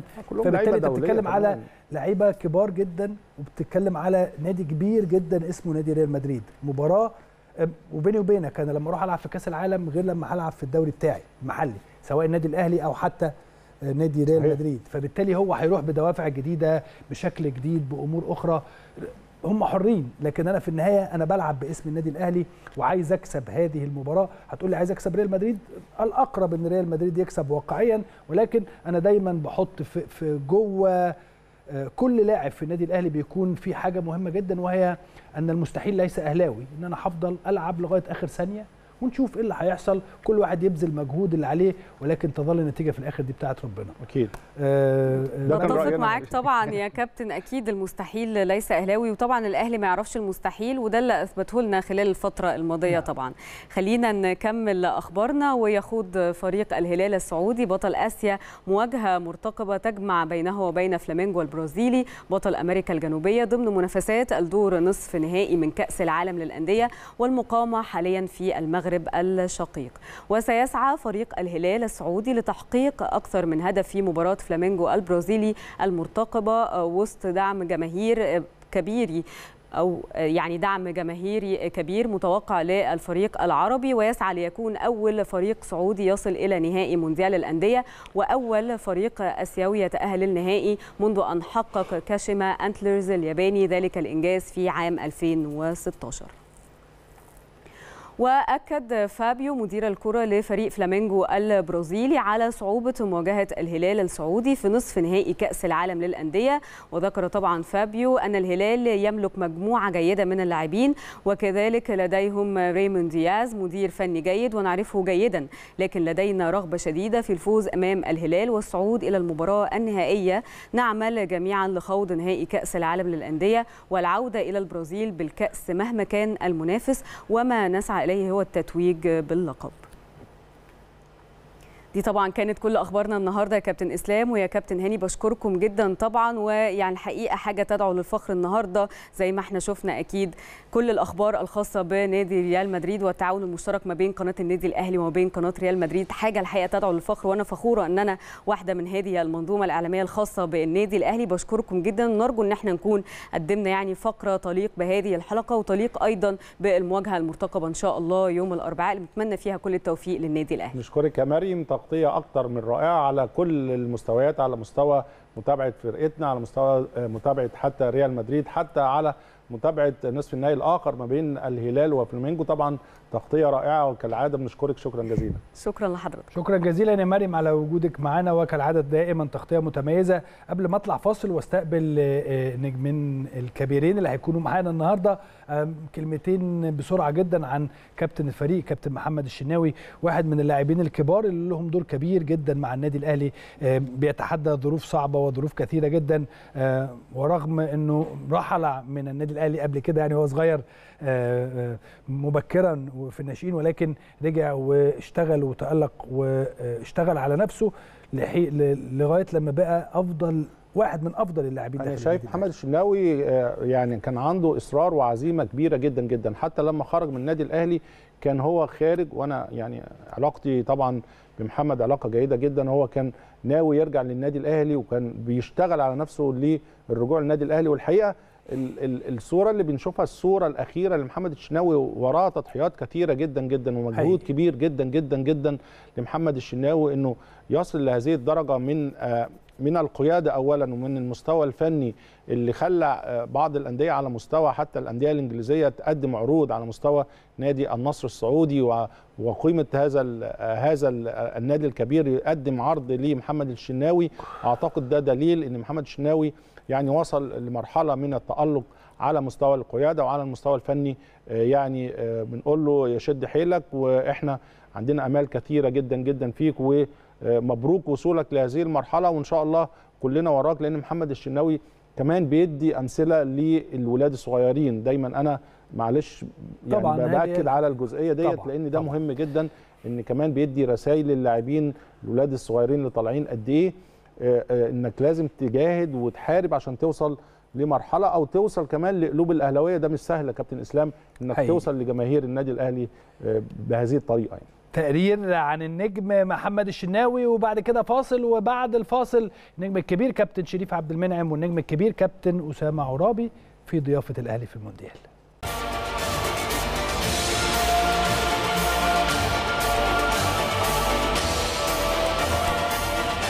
أهلا وسهلا بحضراتكم مره أخرى اعزائي المشاهدين. خلوني ارحب بضيوفي في هذه الفقره. النجم الكبير الكابتن شريف عبد المنعم. ازيك يا كابتن شريف؟ كابتن إسلام. مشرف ومنور. الله يمن وجودك أيضا النجم الكبير كابتن اسامه عرابي. ازيك يا كابتن اسامه؟ مشرف ومنور. أهلا وسهلا بك يا كابتن إسلام. كابتن. منورين يا كباتن. كابتن. هاني. يخليك. أهلا وسهلا. حبيبي يا كابتن شريف خلي بالك. النهارده زمانه كان في المغرب. إيه؟ مش عايز أقول أنا مش عايز أحكي لسه لكن هو كان زمانه في المغرب دلوقتي. آه والله. كنت هتلعب ولا رايح؟ كان عندي عندك لا؟ عندي آه لا كان عندي جات فرصة كده إن آه، كنت هسافر النهارده بالليل وعندي صديق ليا هو اللي كان دعوة من عنده. هو ليه صديق في المغرب آه، فقدروا يجيب لهم 10 دعاوي VIP في المباراة وكده. فقال لي يلا هنركب آه، الطياره بس الحجوزات آه، full up يعني آه، بقول لاسلام وأنا داخل مش عشان اسافر لازم اسافر بالليل النهارده على Air France بتاع ده EgyptAir اللي هي بتطلع بالليل أو Air France طالعة بالليل واوصل المغرب واركب من بقى آه، باريس واركب من باريس على المغرب. وبعدين نحضر المباراة هناك ونشوف إن شاء الله لو كسبنا قاعدين برضو لغاية المباراة الثانية وبعدين نرجع على باريس وباريس على مصر. بس جت الفكرة جت بسرعة. فأعتقد إن هو الوقت ما. أسعفنيش يعني. لو إن الفيزا كانت موجودة وال- كل حاجة كانت إحنا نتفرج مع بعض إحنا إسلام. كان مظبطنا في حاجات. نقعد مع نتفرج على بعض على الماتش مع بعض هنا. نتفرج طبعا هنعمل هنا لك المغرب برضو ونجيب لك كل حاجة هنا لا لا نفس نفس الشكل ونفس الإحساس يعني. آه. بس الثانية كانت هتبقى طبعا لا كنت هبقى ال- المراسل بتاعك هناك. بس ده شرف ليهم يا كابتن إن حضرتك تبقى موجود أساسا معاهم حبيبي حبيبي. كابتن هاخد من كلامك يمكن قبل الهوا بتكلم مع حضرتك آه، عن مباريات النادي الأهلي مع الفرق الأوروبية على مستوى التاريخ. وحضرتك كنت واحد من ال- اللعيبة اللي يمكن لعبوا أمام بايرن ميونخ وكان البايرن هو بطل بطل أوروبا وكان هو متسيد الكرة على مستوى أوروبا. إحساسك يا كابتن وأنت نازل ملعب وأنت كنت بتحكي لي إنك حتى كنت راجع من إصابة والنادي الأهلي بيكسب 2-1 وحضرتك بتحرز هدف آه، في أسماء آه، كبيرة جدا على مستوى الكرة العالمية والألمانية. إحساسك إيه اولا قبل المباراة؟ إحساسك إيه بعد ما جبت هدف؟ وإحساسك كمان إنك فزت على فريق كبير زي بايرن ميونخ. هو في الحقيقة كانت احتفالية يعني أنا بالنسبة لي احتفالية إن أنا هرجع بعد إصابتي في كسر في رجلي وبرجع قدام فرقة كبيرة زي دي. كنا بنتفرج كنا بنتصور بقى مع جيرد مولر. هتلاقي آه، طارق الشيخ وأنا وثابت الله يرحمه وكابتن مصطفى عبده وكابتن خطيب وسيب ماير. يعني دي كانت من الاسمين الكبار قوي اللي كانوا موجودين. الكرة الألمانية على مستوى ألمانيا والعالم. وكانوا لسه واخدين كأس أوروبا 77 78 على ما أعتقد. ف وبعدين جالي الحظ في في نهاية الشوط الأول وخدت كورة وعديت من النص من الاثنين ال stoppers وحطيتها ببطن رجلي في سيب ماير. كانت فرحة كبيرة جدا. وفيلم والجول متوثق يعني في اليوتيوب. ف دي كانت حاجة كويسة. وكان ليا حظ كمان مع ساوث هامبتون في مصر هنا. ده المباراة اللي اتولد فيها عباس. محمد عباس. محمد عباس. جبت أنا أول جول برضو في ساوث هامبتون هنا كان في الاستاد بالليل كده كان try match برضو. ف ولعبت قدام بايك ولعبت قدام في في تركيا قدام بشكاتش وفنار بخشة وباوك اليوناني وأيك. فالماتشات دي كلها الحمد لله يعني ما اتغلبناش فيها خالص وكان ليا الحظ إن أنا بحرز هدف في ساوث هامبتون وهدف بايرن ميونخ. كان نفسك تسافر بقى المغرب عشان كده؟ لا, لا. إحنا قاعدين ونسافر أنا أنا مبسوط من الحالة. آه حقيقي. الأهلي عامل حالة جميلة قوي للعالم كله دلوقتي بيتكلم عنه يعني. صحيح صحيح. آه فرصة عظيمة قوي آه مش لينا إحنا بس كأهلي وقناة هنا واللعيبة وال كل حاجة. والجماهير وكله. لا اللعيبة نفسها عندها يوم الأربع آه تعارف بينها وبين العالم كله. فتخيل أنت هتلعب والعالم كله هيتفرج عليك عشان أنت صحيح. اجينست أو ضد ريال مدريد. عايزين نشوفوا إيه الفرقة اللي دايما بتبقى موجودة ببؤره الضوء ودايما هي اللي من افريقيا بتبقى بتستحوذ على على السمعة وعلى الأداء وعلى الفوز على قارات كتير يعني مش من أول مرة يعني. وعندنا ثمان آه نسخ كان فيها إنجازات هايلة يعني. ف الحكاية هي موجودة للعيبة أكتر دلوقتي. يعني أنا فرحان للعيبة. يعني اللي هيكون ليهم الحظ ويشاركوا من أول مباراة الدنيا كلها هتتفرج عليك. فرصة ليك. تلاقي نفسك بتلعب في أتلتيكو بلباو أتلتيكو مدريد تلاقي نفسك بتلعب في أي حتة. بتعملوا ماتشات كويسة. وخاصة لعيبة النادي الأهلي ولاعيبه مصر بيجوا في المباريات دي وبيبقى ليهم أداء خاص يعني. ناهينا عن بايرن ميونخ الإمكانيات البدنية ساعتها وكل وقت وليه اذان يعني. طبيعي الإمكانيات طبيعي. البدنية وأنت ال squad بتاعك غير ال squad الموجود دلوقتي. أعتقد الأهلي ممكن يحقق حاجة مبشرة بالخير إن شاء الله. إن شاء الله. كابتن أسامة ليك نفس التفاؤل؟ هل يعني شايف المباراة إزاي؟ آه كل الناس بتتكلم على غيابات في بعض الغيابات لريال مدريد بعض اللعيبة اللي غايبة على رأسها كريم بنزيما آه كورتوا حارس المرمى. شايف الغيابات دي مؤثرة ولا يبقى ريال مدريد هو ريال مدريد وفرص النادي الأهلي. إن شاء الله للوصول للمباراة النهائية؟ آه اولا هو كده كده هو شرف للنادي الأهلي إنه يلاقي أعظم نادي في تاريخ الكون يعني. يعني دي بالأرقام وبالاسم وكل حاجة. يعني في أندية كبيرة جدا في العالم سواء في أسبانيا في إنجلترا في ألمانيا. لكن ريال مدريد هو القيمة الكبيرة جدا في حتى لما ما بيحصلش على بطولات في فترة معينة بس هو الاسم الذهبي في العالم كله. فهو شرف أساسا إنك أنت وصلت للمرحلة دي وهتلاعب ريال مدريد. مباراة صعبة طبعا انت بتلاعب نجوم عالميين نجوم منتخبات في بلادهم نجوم متمرسة في القارة الأوروبية بطولات خبرات. level بتلعب, بتلعب level مختلف. فأكيد المباراة صعبة لكن المباراة صعبة شيء وإنك أنت يبقى عندك الأمل والدوافع إنك أنت تأدي مباراة حلوة جدا. زي ما كابتن شريف قال إنك أنت فرحة للعيبة ان إن بتلعب قدام ريال مدريد صحيح. والاسم الكبير دوت زي ما حصل قبل كده تجارب كتيرة ومنها الأخيرة اللي في بطولة العالم بايرن بايرن ميونخ ولكن نتمنى طيب. إن شاء الله إن الأداء يكون طيب. أفضل كتير تمام وكمان يبقى في طموح عند اللعيبة طيب. إنها ممكن تعمل مفاجأة ولكن في النهاية إنك تأدي بشرف وب وبتركيز وتحاول تكسب والله خسرت. انت برضو في النهاية بتلعب ما عندكش أعظم. ضغوط بمعنى آه. لا ما عندكش ضغوط. مهم جدا اتفضل. الحقيقة من فيزانتي دولبوسكي المدير الفني السابق لفريق ريال مدريد ومنتخب آه، أسبانيا. آه، طبعا آه، اولا بنرحب بيك على شاشة قناة النادي الأهلي. وفي البداية حابين نعرف رأيك في هذه المواجهة المرتقبة لفريق النادي الأهلي أمام ريال مدريد الأسباني. في نصف نهائي مونديال الأندية. طبعا حضرتك كنت متواجد كمدير فني لريال مدريد في 2001 على استاد القاهرة الدولي.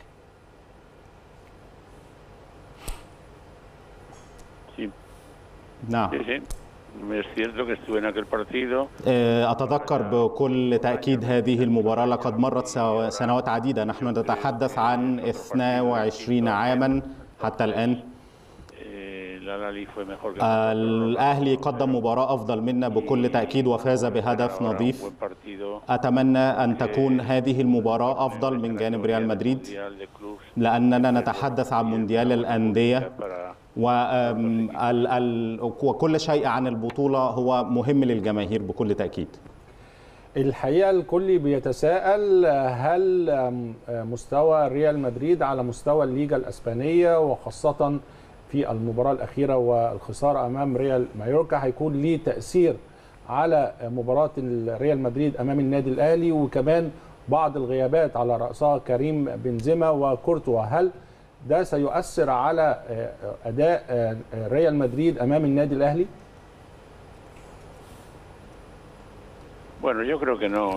لا أعتقد لأن ريال مدريد هو نادي يخوض مباراة مباريات مهمة على مدار العام. ويريد أن يتأهل للنهائي بكل تأكيد لأن لقب مونديال الأندية لقب مهم بالنسبة لنادي بحجم ريال مدريد. في مباراة مايوركا قدم مباراة طيبة إلى حد كبير ولكن لم يستطع أن ينهي المباراة بالنتيجة التي يبحث عنها.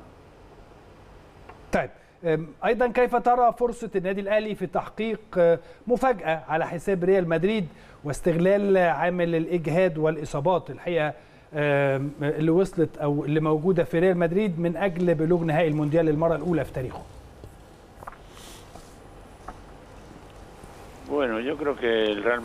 في وجهة نظري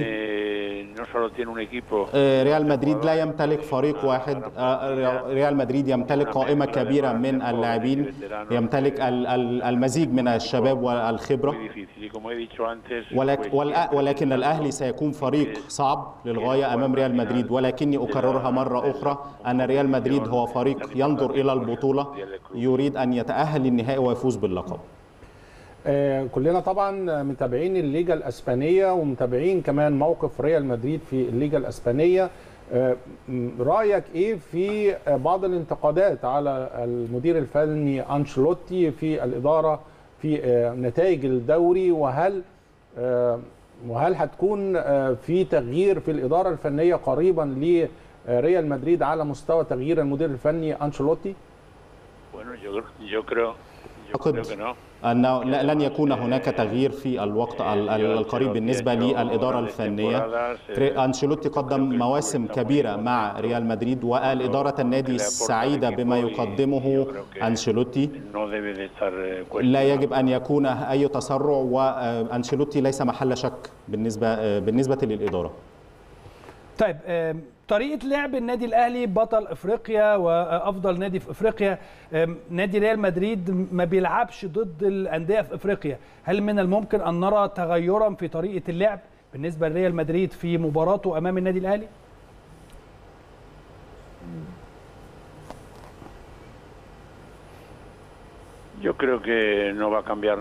لا أعتقد أن ريال مدريد سيغير من طريقته هناك لاعبان صنع الفارق مع ريال مدريد في السنوات الأخيرة نتحدث عن بنزيما ومودريتش ولكن هناك العديد من اللاعبين المهمين مثل أسينسيو وفالفيردي وفينيسيوس تامبين أيضا لا أعتقد أن الفريق سيغير من طريقته أمام ريال مدريد لأنه يقدم بالفعل أداء طيب أكيد طبعا كل الأسماء اللي اتذكرت هم لعيب لاعبين على مستوى عالي جدا جدا وإحنا أكيد متابعينهم في الدوري الأسباني لكن عايزين نعرف أو رأيك الفني في تدهور النتائج الأخيرة لفريق ريال مدريد وخاصة بعد يعني العودة من كأس العالم. شايف ده إزاي؟ وشايف هل يستطيع ريال مدريد العودة تاني للمنافسة للحصول على الليجا؟ برغم فارق النقاط ما بينه وما بين برشلونة تصل إلى 8 نقاط.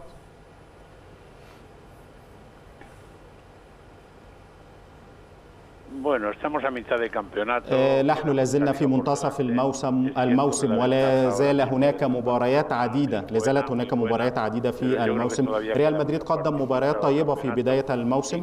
ولكني أرى أن هناك مباريات عديدة في الموسم. لازالت متبقية. المنافسة بالطبع انحصرت بين ريال مدريد وبرشلونة ولكني أعتقد أن المنافسة على اللقب لم تحسم بعد. عايزك تقول لي ذكرياتك برضو عن مباراة النادي الأهلي في 2001 أنا عارف إن هي 22 سنة وسنين طويلة جدا ولكن أعتقد إن أنت أيضا لك ذكريات بوجودك في مصر في مباراة الأهلي وريال مدريد في 2001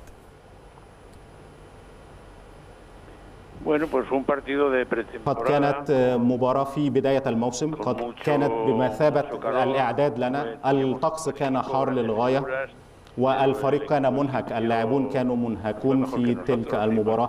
بالطبع الأهلي كان أفضل منا في هذه المباراة وسجل هدف واستطاع أن ينهي المباراة بهذا الهدف. ولكني أعتقد أن لاعبين تأثروا بحرارة الطقس في تلك الفترة في مصر. ولم يقدموا مباراة طيبة والأهلي كان الأفضل. الحقيقة كمان عايز أعرف وجهة نظرك في الكرة العربية وتأثير أو المفاجأة والأداء الجيد جدا للمنتخب المغربي ووصوله لنصف نهائي كأس العالم. هل كان ده مفاجأة ليك وصول المغرب لنصف نهائي كأس العالم؟ وهل تتطور الكرة العربية بالشكل السريع؟ لتجاوز أو الوصول لمرحلة العالمية. تكون مفاجأة بالنسبة لي. المغرب قدم مباراة مباريات كبيرة في المونديال واستطاع أن ينهي البطولة في المركز الرابع بجدارة واستحقاق. كان يمتلك لاعبين كثر من الشباب والذين يلعبون في الدوريات الأوروبية. وبالطبع مستواهم كان متقارب للغاية مع المنتخبات الأوروبية بطبيعة الحال لأنهم يلعبون في دوريات أوروبية كبيرة. توقعاتك إيه للمواجهة الأخرى في نصف نهائي مونديال الأندية بين فلامينجو البرازيلي والهلال السعودي؟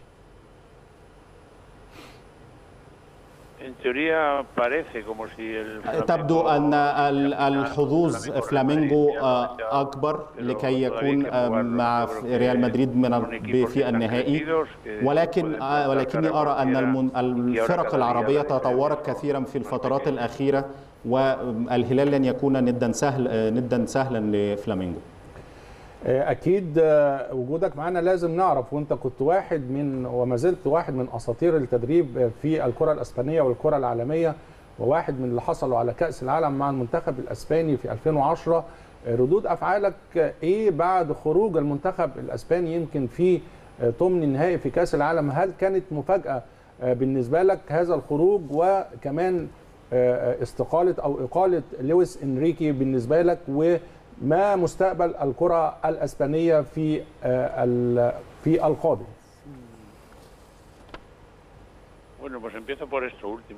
سأبدأ من الجانب الأخير من السؤال.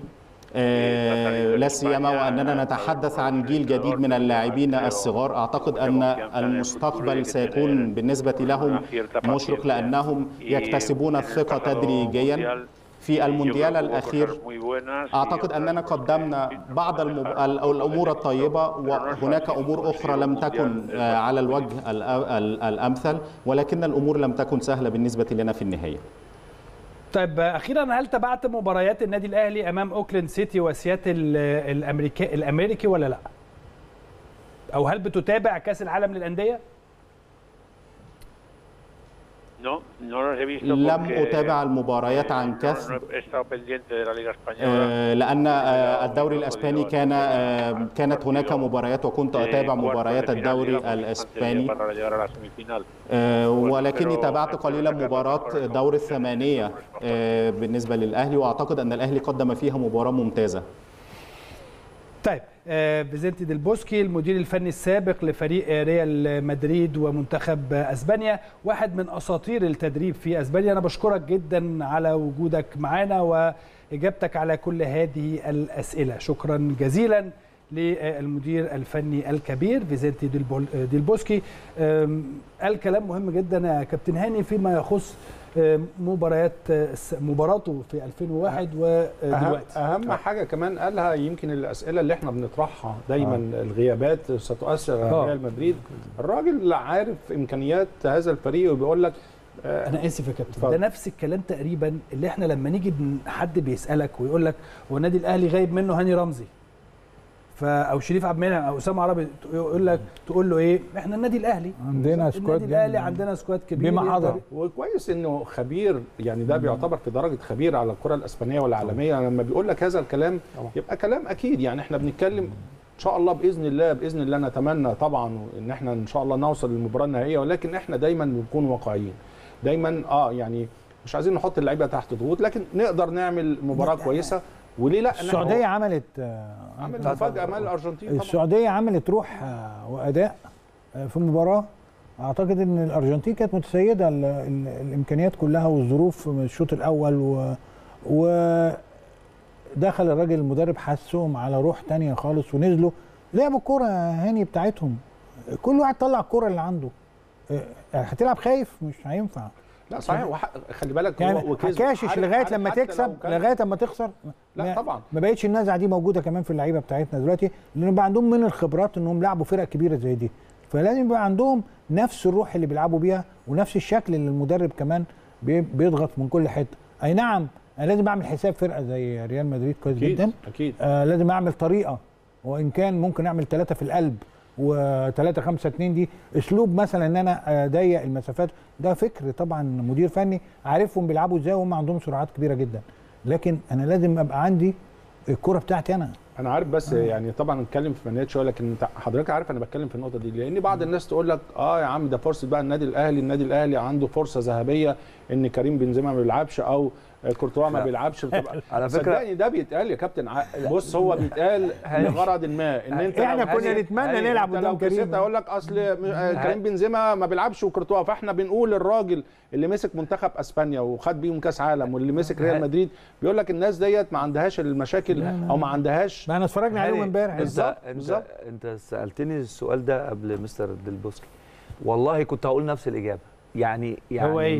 إن آه. هو ماشي طبعا كريم بنزيما لعيب كبير هو لكن ده ريال كورتوا مدريد احسن خلي بالك يا كابتن، احسن حراس المرمى ده الكلام اللي إحنا قلناه في لكن عنده. لعيبة دوليين كتير ولاعيبه في كل منتخبات العالم ولاعيبه ما هي يعني لما مريم مش- سألتنا السؤال ده يا كابتن هاني إحنا قلنا تقريبا آه. نفس الرد لأن إحنا آه. كلنا عايشين في ال- في اللي إحنا عايشين كلنا فيه في شايفين، الأهلي وشايفين الأهلي عارف أنا بتكلم كده. إيه فالناس أنا عارف أيوة، عشان ما يقللوش لو بره بره. بيقول لك ما ما أنتوا لازم تقولوا كده لكن إحنا جبنا هو الإجابة. اهو. آه، آه، طبعاً، إحنا جبنا الإجابة من الراجل. كده طب آه الراجل. بالظبط عشان أنا, كده ده أنا فاكر ديل بوسكي ده وهو بيغير هييرو.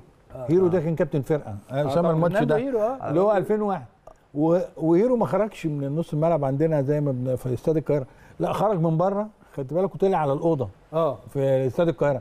فذكرياتنا مع ريال مدريد وكان كان في جرأة. آه اسامه على فكرة أنا يعني من ال... كان من حظي إن أنا كنت في الجهاز ال- الفني كان آه. مستر مانويل جوزيه مين اللي جاب الجون ساندي ولا ساندي. وحسام وأحمد ناجي كابتن وسام لا لا ما أنا لا، ما أنا عارف طبعاً، ما أنا عارف كنت طبعاً. موجود أنت جيت 2003 مش كده؟ أنا جيت بعديكوا آه لا بعد 2003. يعني لحقت الجهاز 2001 ده بس دي أنا يعني كنت مساعد في 2003. الجهاز طبعا كان إبهار يعني إنك أنت بتلاعب ريال مدريد وشايف زيدان في الملعب وفيجو وهيرو هيرو كان كابتن نجو- نجوم وروبرتو كارلوس وروبرتو كارلوس. وفيجو لا كان اسماء يعني. اسامي جامدة جدا. بس هم طبعا قدوم الهرم الصبح يوم ما هو. لا ال ال ال ال لما تلعب بدون ضغوط عليك وزي ما إحنا بنقول مظبوط. في, في فرق. الناس لازم تفهم دي. في فرق بين ما أنا هلعب وهكافح وهموت نفسي وهعمل أحسن ما عندي إن أنا أكسب المباراة أنا مش رايح عشان أتغلب المباراة. وفي وفي فرق إن أنت بتعرف قيمة كل فرقة. أنت بتتكلم بتلعب ريال مدريد واحد من أعظم الفرق في العالم إذا ما كانش هو الأعظم. يعني ما فربنا يسهل إن شاء الله نقدر نعمل مباراة كويسة ودي المهمة. ما نبقاش خايفين ولا قلقانين الخوف. عند النقطة دي يا كابتن. آه اتفضل. نقطة الخوف اللي آه. يمكن لاحظناها في مباراة بايرن بايرن ميونخ مظبوط. خاصة في الشوط الأولاني. صح. الشوط الثاني بدأنا نسبياً. نسبيا خلاص القلق راح فإحنا عايزين برضو رسالة للاعيبتنا يعني طبعا. احترم آه احترم المنافس وبتلاعب ريال مدريد ولكن ما تخافش. يعني طبعاً. قدم كل اللي عندك من غير ما تخاف. طبعا. وكلنا هاني واجهنا سواء في المنتخب أو الأندية أنت طبعا كنا في كأس العالم هولندا. أيام هولندا و- وإنجلترا وايرلندا بتلعب أنت طبعا احترفت على مست- المستوى الأوروبي والمستوى العالمي وإحنا لعبنا كتير قدام سواء أندية أو صحيح. منتخبات أوروبية. لازم تلعب بدون خوف. بشخصيتك، يعني بشخصيتك. بشخصيتك. يعني المغرب شفناها عملت آه، تاريخ كبير. السعودية أدت بشكل كويس. ال- اليابان آه، أدت بشكل كويس. فالمهم إنك أنت ما تبقاش قلقان ولا متوتر ما عندكش ما تخسره صحيح. انت بتلاعب. فرقة كبيرة قوي ما عندكش ما تخسره فطلع احسن ما عندك حاول على قد ما تقدر إنك تطلع احسن ما عندك بعدين أنا معليش ضغوط آه آه آه. الضغوط كلها على ريال مدريد مظبوط آه. أنت واخد. بالك آه. يعني أنا ك... لو هلعب آه. الماتش ده صح ده أنا هاخد الكورة واخد واحد واثنين وباصي واستلم تاني وأعمل الطويلة جت ما جا... أنا معليش أي ضغوط صحيح أنا كل اللي عليا إن أنا hunter آه، بصطاد بحاول أبقى موجود جوه ال game وعامل حالة للجماهير العربية كلها اللي هتبقى موجود لأن الناس كلها هتتفرج على ريال مدريد في المباراة دي فهتلاقي ال- الاستاد ده كله at least تلتينه معاك. at least أنت كل صحيح. حركة بتعملها في الملعب أو باص أو حاجة effective قوي لقدام أو كرة بتتشاط أو أو أو أو هدف هتلاقي الدنيا مولعة. وفي نفس الوقت الضغوط كلها اسامه مش علينا إحنا. الضغوط كلها على ريال مدريد. فاحنا هنبقى اذكياء ونستغل ال- السرعة بتاعتهم اللي قاعدين ينهوا بيها الماتش. يبقى عندنا إيقاع كويس جدا يعني وبنستلم الكرة صح ومفيش حد مفيش قلق أي قلق بالنسبة لي أنا. آه، حصل الشكل الطبيعي ودي فرقة جامدة عليا جدا وما أعرفش آه، hard luck وكويس إن إحنا في. الشكل ده صحيح. ونفكر في الميدالية بقى بعد كده كمان بالنسبة كمان للميداليه يا كابتن إسلام إحنا إن شاء الله بإذن الله يعني نقدم مباراة كويسة ولو ربنا رايد نوصل المباراة النهائية لو ربنا ما رادش أنت كمان عندك مباراة صعبة جدا ايا كان طبعاً. المنافس طبعاً. آه، سواء الهلال أو الهلال أو فلامينجو. فلامينجو فكمان آه، دوت آه، صحيح. ده كمان يعني مش عايزين نفكر فيه بدري لكن المشوار صعب طب لو يعني كنا لو كنا المشوار صعب إسلام فلامينجو كان عندنا chance أحسن من ريال مدريد ما فيش؟ حاجة اسمها chance أحسن أنا وجهة نظري أنت بتلعب في كأس هو- هو العالم. ماتش. هي هي. هو ماتش بالظبط سواء الهلال. السعودي على الميدالية في الض- لو لا قدر الله. إحنا ما كسبناش بالظبط. هو ماتش أنت لعبت اله- الهلال. السعودي وأنت سكوادك 14 لعيب صحيح. كسبت. أربعة وكسبت أربعة ومحدش كان يتوقع هذه المباراة عموما خلينا نطلع نشوف تقرير عن هذه المواجهة الكبيرة والعظيمة والتاريخية ما بين النادي الأهلي وريال مدريد ونرجع نكمل مع حضراتكم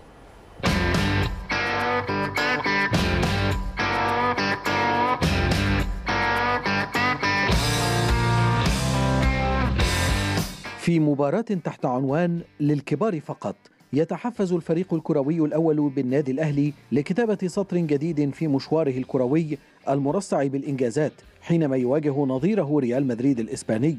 وتأتي المباراة بين بطل القرن في إفريقيا النادي الأهلي ونظيره ريال مدريد نادي القرن العالمي وبطل أوروبا ضمن منافسات الدور نصف النهائي من بطولة كأس العالم للأندية في المغرب.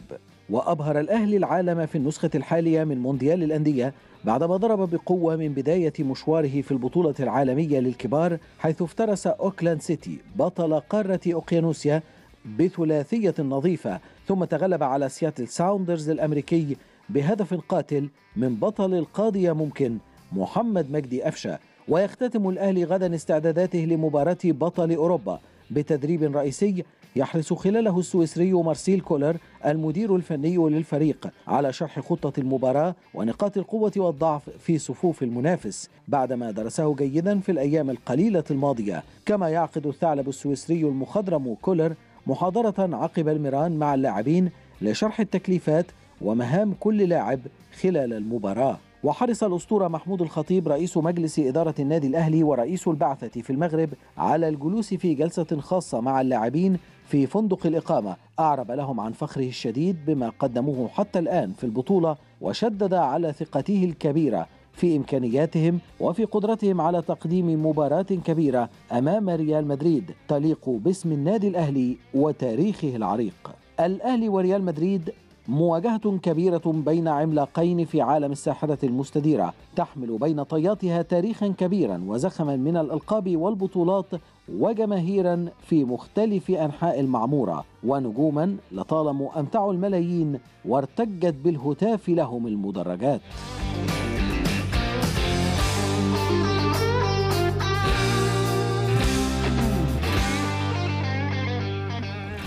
تاريخ كبير للنادي الأهلي في كأس العالم للأندية. إن شاء الله كمان آه، يعني آه، يكمل هذا التاريخ. إن شاء الله بم- بميدالية. إن شاء الله كلنا نطمع في المباراه النهائيه ولكن آه، تبقى مباراة ريال مدريد أمام النادي الأهلي هي بطولة في حد ذاتها. كابتن أسامة خلينا كنا بنتكلم وال- وال- والتقرير شغال عن بعض النواحي الفنية اللي يقدر يعملها النادي الأهلي لتقليل خطورة آه، الريال. شايف شايف وج... يعني وجهة نظرك إيه في الجزئية دي تكتيكيا؟ النادي آه. الأهلي يشتغل إزاي؟ آه. يعني أنا قبل طريقة اللعب يعني هي في مثلا آه، وجهة نظر ويمكن الكابتن شريف بقى يتكلم عليها إنه نلعب بثلاثه في العمق مم. بس أنا شايف إن الراجل ده بالذات ما بيلعبش كده خالص. يعني في كل مبارياته اللي لعبها ولا مباراة لعب بثلاثه في العمق مستر كولر ثلاثة يعني. في خط الدفاع تقصد؟ آه ثلاثة في الظهر في قلب الدفاع. هي فكرة هي فكرة. يعني ممكن يلعب 5 4 1 ماشي بس هو ما لعبهاش قوي. فأنا مش عايز أصدر ال- القلق قوي من أول المباراة دي وجهة نظري. فيلعب عادي 4 3 3 زي ما هو لعب في الماتشات الأخيرة. وإن كان هو بيدي مهام آه، آه، مختلفة ل- ل- لحمدي فتحي في الناحية الهجومية بيلعب أكنه في مركز قفشة اللي هو 10 لأنه بنلاقيه بيتقدم على طول مع سواء مع السوليه الس- مع لا كان بيتقدم على طول قدام مع محمد شريف؟ شريف أو مع كهربا. فأنا في الماتش ده لا هتلعب بالثلاثي. لا ثلاثي واحد ارتكاز اللي هو آه، آه، أليو ديانج. أليو ديانج ويمينه حمدي وشماله السولية. يبقى هما الثلاثه فعلا كده لكن مش بالأسلوب اللي لعبنا بيه الماتشين اللي فاتوا في أوكلاند. وفي سياتل إن حمدي بيطلع للأمام قوي إنه يضغط قدام لأنك بتلاعب فرقة كبيرة فرقة عندها أجنحة عالية جدا زي صحيح. جونيور فينيسيوس آه، زي آه،. أسينسيو آه، في نص الملعب عندهم لعيبة جامدة فعندهم الباكين أصلا سواء كارفاخال أو. كامافينجا هيبقوا هتلاقيهم زي دي فلازم تقفل الأجناب كويس فهو كان بيلعب بس بالأسلوب ال ال هو شكلا هم ثلاثة بس كان حمدي بيبقى متقدم قوي. يعني هي 4 2 3 1 بشكل آه أقرب أقرب ليها ليها. كانت كده. بس هو الناس لما بتسمع اسم حمدي والسوليه وديانج متخ- متخيلين المهام واحدة. في الماتشين اللي فاتوا لا حمدي فتحي واخد مهام آه، تشبه مهام قفشة لما بيلعب في مركز عشرة يعني. لكن الماتش ده لا محتاج إن الثلاثه يلعبوا فعلا كثلاثي في وسط الملعب عشان يحموا أو يقللوا المساحات شوية على على هاني وعلى يقفلوا علي. المساحات مع هاني وعلي إن ما بقاش فيه اختراقات بسهولة جدا في في الأجناب يعني. آه، لأن عندهم سرعات كبيرة وعندهم طبعا آه، تكتيكهم عالي وبيعرفوا يتصرفوا وخبرات كبيرة. فدي بس ال- ال- اللي أنا يعني شايفها. بالنسبة للثلاثي الأمامي آه، يعني هو يمكن عمل حاجتين. مرة لعب بالثلاثي اللي هو حسين و... و... و... و... وشريف وأحمد عبد القادر. والماتش الثاني غير الثلاثه مرة واحدة ولعب ب آه، بيرسي تاو وكهربا وطاهر محمد طاهر فهو الأجهز والأحسن دلوقتي أنا وجهة نظري حسين شريف أفكر بقى في الثالث هل هو آه، يعني أنت بالنسبة لك حسين الشحات ناحية اليمين ومحمد شريف راس حربة ويبص بقى في الجناح الشمال. بقى أبتدي أفكر بقى هل أنا عايز ألاعب طاهر هل أنا العب بيرسي تاو؟ هل أنا عايز آه، عبد القادر؟ آه عبد القادر. هل أنا لاعب قفشة بالمهام دي ويخش للعمق شوية؟ بس طبعا دي أصعب ممكن قفشة يبقى في الشوط الثاني لكن أنا أقصد إيه ما يبقاش التغييرات كتيرة دي وجهة نظري الشخصية. في المباراة دي. لكن هي المهم إن وسط الملعب يبقى يعني متقفل كويس قوي وعامل حماية للباكين عشان ما يبقاش مخترقين سواء من الثلاثي اللي أنا قلت عليهم اللي هو حمدي والسولية وديانج معاهم هيبقى حسين الشحات ومعاهم بقى التال ال- ال- الخامس اللي هو ايا كان مين هو يختاره أو وجهة طبعا طب نظر مستر بس دي وجهة نظري يعني من كلامك للكابتن شريف عملية آه، هم متميزين جدا بالأطراف يعني بتتكلم على كامافينجا بتتكلم على فينيسيوس بتتكلم آه. على حتى فالفيردي يلعب back. آه، يلعب جناح, جناح. أيمن. ووراه كارفاخال فدي مشكلة بتقابل ال- الباكين إذا كان back يمين أو back شمال يعني هاني ومعلول ولكن بتتحل بالأجناب أو بالأجنحة بتاعتنا طيب ناحية اليمين هل حسين الشحات قادر على النواحي الدفاعيه إن يكون في جبهة دفاعية بتكلم دفاعيا آه، قادر دفاعيا إنه يساعد محمد هاني في الجزئية دي طيب والناحية الثانية عندنا علي معلول آه، الأقدر دفاعيا هل يكون آه، طاهر محمد طاهر أحمد عبد القادر ويمكن كابتن أسامة قال بيرسي تاو بس بيرسي تاو يعني آه. بيميل ناحية اليمين شوية آه. القدرة الدفاعية الأفضل في جناحي النادي الأهلي مع طاهر محمد طاهر ولا مع عبد القادر لا هو طاهر طبعا في الناحية ال- البدنية والدفاعية. كويس؟ أنا بس آه كان عندي شكل كده الأهلي بيعمل إيه الفترة اللي فاتت دي كلها؟ مم. كان ساعات الأهلي قبل ما ال squad بتاعه يكتمل آه، دخل مرة في مباراة الزمالك على ما اعتقد خالد عبد الفتاح. آه، دخله جوه بيلعب آه، third back. third third back. back. كويس؟ أو رامي ربيعة مثلا موجود. آه وفي عندنا رجع آه متولي. وعبد المنعم. مظبوط. الماتش ده زي ما أنتم بتقولوا كده أجناب وعمق وكل حاجة أنا لازم أعمل زي مايوركا. يعني بقى خمسه ورا يعني. آه لازم. آه، خمسة آه. تل- ده خم- مايوركا خمسة زهقوه تلاتة اتنين. مثلاً، أو وخرجوا واحد. الفرق راس الحربة لبره عشان هو هو دلوقتي كان بيتكلم آه، ديلبوسكي كان بيقول إن واحدة من أحلى المباريات اللي عملها ريال مدريد. آه. هو خلي بالك حاولوا عندهم بس التانيين وضربات على عندهم فكرة على فكرة سيطرتهم كانت أكتر من 70% على آه، الماتش وضيعوا بالظبط. ضربة جزاء بس هو يسيطروا آه بس فرقه مايوركا زهقتهم. واقفين عاملين لهم آه عدم انك تلعب 1 2 space مش عاملين space ليهم خالص. الشوط مساحة. كان الشوط يا إسلام كان من 30 صح. ياردة. صح. رودريجو ده كان بيشوط من 30 بدل ما ياردة. تشوط من 20 بتشوط من فالفيردي 30. بيشوط من 30 ياردة. ليه؟ لأن التانيين عاملين cordon على ال- لو حد عدى فينيسيوس ده بتاع في stopper رايح له لوحده عشان يقفل الحتة دي. وكان فكرة التاني بيعدي برضه. لا ده مش كانش بيعديش بيعدي. عارف كمان النقطة الأهم يا كابتن؟ إن يمكن جالهم فرصتين أحرزوا هدف وده مهم جدا. مين؟ آه طبعا استغلال آه، الفرص مايوركا. آه. مايوركا مايوركا بنتكلم اللي جاب الجول ال back وناتشو هو اللي عملها الراجل اشترك. آه اشترك. وال touch جه فعمل آه، curve خلى الكرة جوه. الجول لا وجالهم كرة تانية كانوا ممكن يجيبوها جول ما هي دي النقطة اللي بتكلم عليها إن في الماتشات الكبيرة ديت مش هيجيب لك استغلال فرص كتير. يعني مش صح. هيجي ست سبع فرص فيبقى لازم عندك. quality of player اللي هو يقدر يعمل لك ال stretch بتاع الدفاع وبتاع الهجوم أنا شايف إن 3 5 2 دي اللي هو ثلاثة في العمق وطرفين عندك وثلاثة قدامهم واثنين في عمق الهجوم عندك بيستقبلوا أي حاجة جاية من جوه. عندك حسين شحات وعندك طاهر محمد طاهر. على حسب آه مستر كولر بقى شايف أجهزية آه بيرستاو شايفه كويس الماتش اللي فات. آه ما هو أنا لازم يبقى عندي ثقة في ال- في اللعيب بتاعي. أنا عايز مهام معينة عايز مهام دفاعية وعايز مهام هجومية. بس مش هلعب على طول أنا في آه، 90 دقيقة دفاعية. طب اتعادلت في 90 دقيقة. عندي آه في وقت نص ضربة كمان. مش هفضل ألعب لغاية لما أوصل ضربات جزاء. أنا ألعب ضربات جزاء وأوصل ضربات جزاء لما أجيب جول. لما يبقى لي وجود في في الملعب أو أكسب. فلازم يبقى عندك نوعية اللاعب اللي هتبتدي أنت تقطع منه خلال ال 90 دقيقة. هتاخد منه 50 دقيقة هتاخد منه 60 دقيقة. وفي البديل الجيد اللي بيخش زي ما دخل القفشة وعمل حالة ربط ومسك كرة الحقيقة. لعيب كرة كويس قوي. يعني ما أقدرش استغنى عنه كمان. هي الحكاية مش هتبقى دفاعية بس. ما لازم يكون ليا حاجة في التورتاية بتاعت بكرة بعد. بكرة. لازم التورتاية دي أنا أقطع فيها أنا صحيح. كمان. آه، كابتن أسامة يعني شفنا آه، كولر اتعامل مع المباراة اللي فاتت بسيناريو معين ومقسم المباراة بشكل معين.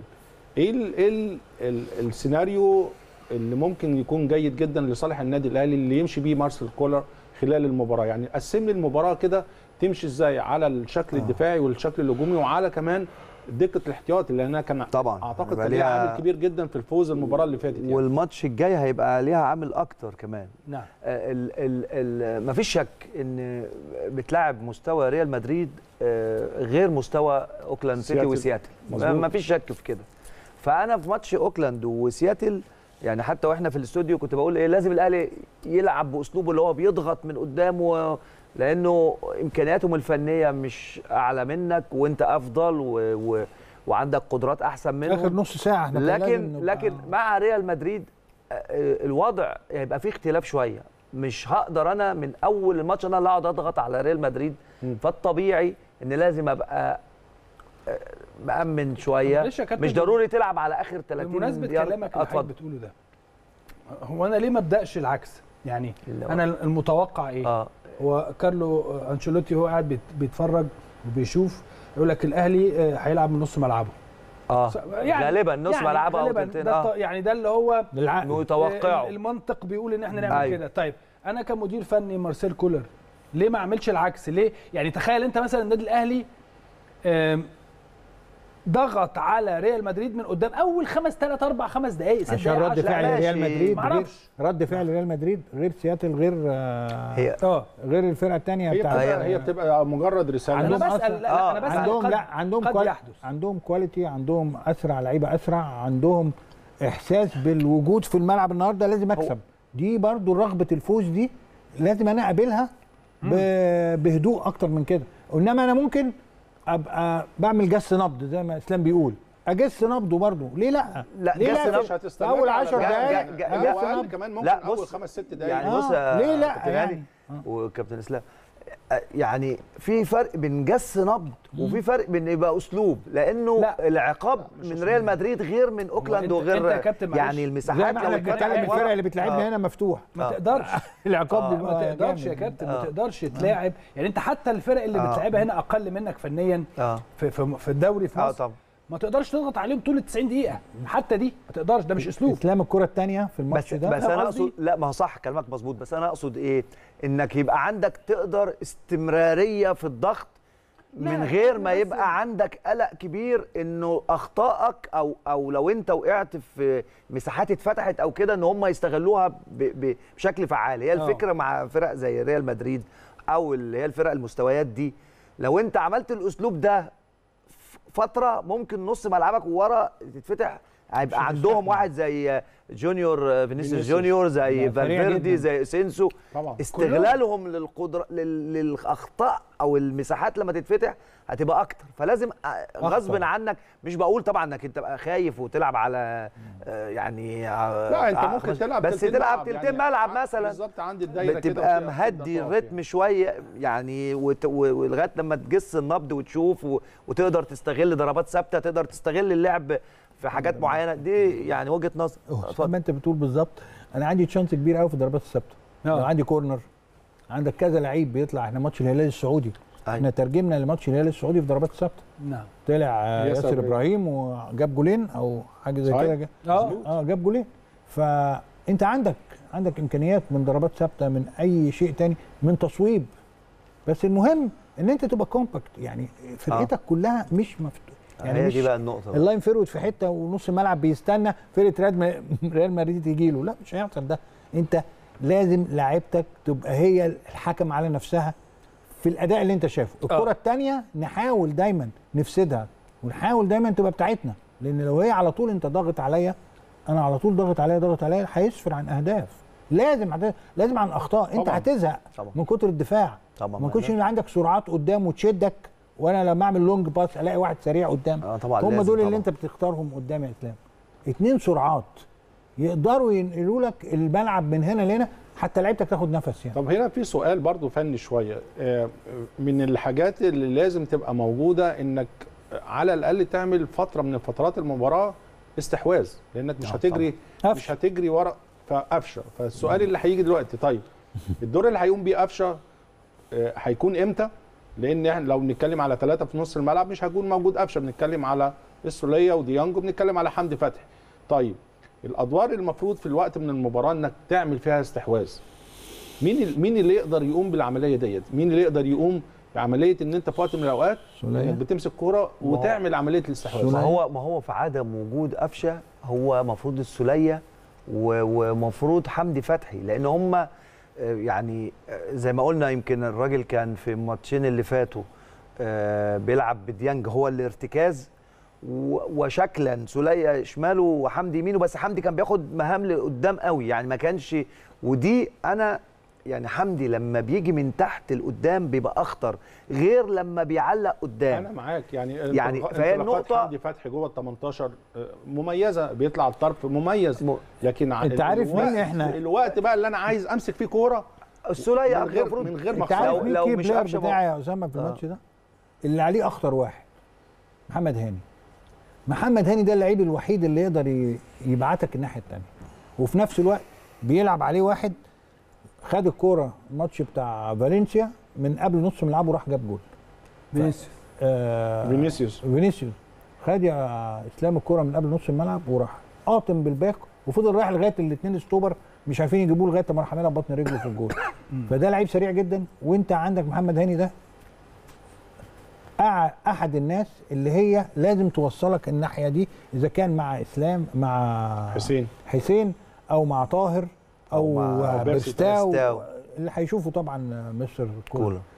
فأنت عندك حالتين إنك أنت تنسى خالص إن أنت بتلعب ريال مدريد وتنسى فينيسيوس وتنسى وتلعب كورتك حسب ال game اللي هيحصل في البتاع وتلعب انت كورتك العادية. تباص سليم ت- تطلع نفسك من الرهبة وتطلع نفسك وتحط الروح بتاعتك ان انت عايز يبقى لك وجود اليوم ده. غير كده إحنا بنلاعب فرقة جامدة جدا squad جامد طبعاً. جدا اللي قاعدين بره زي اللي قاعدين جوه.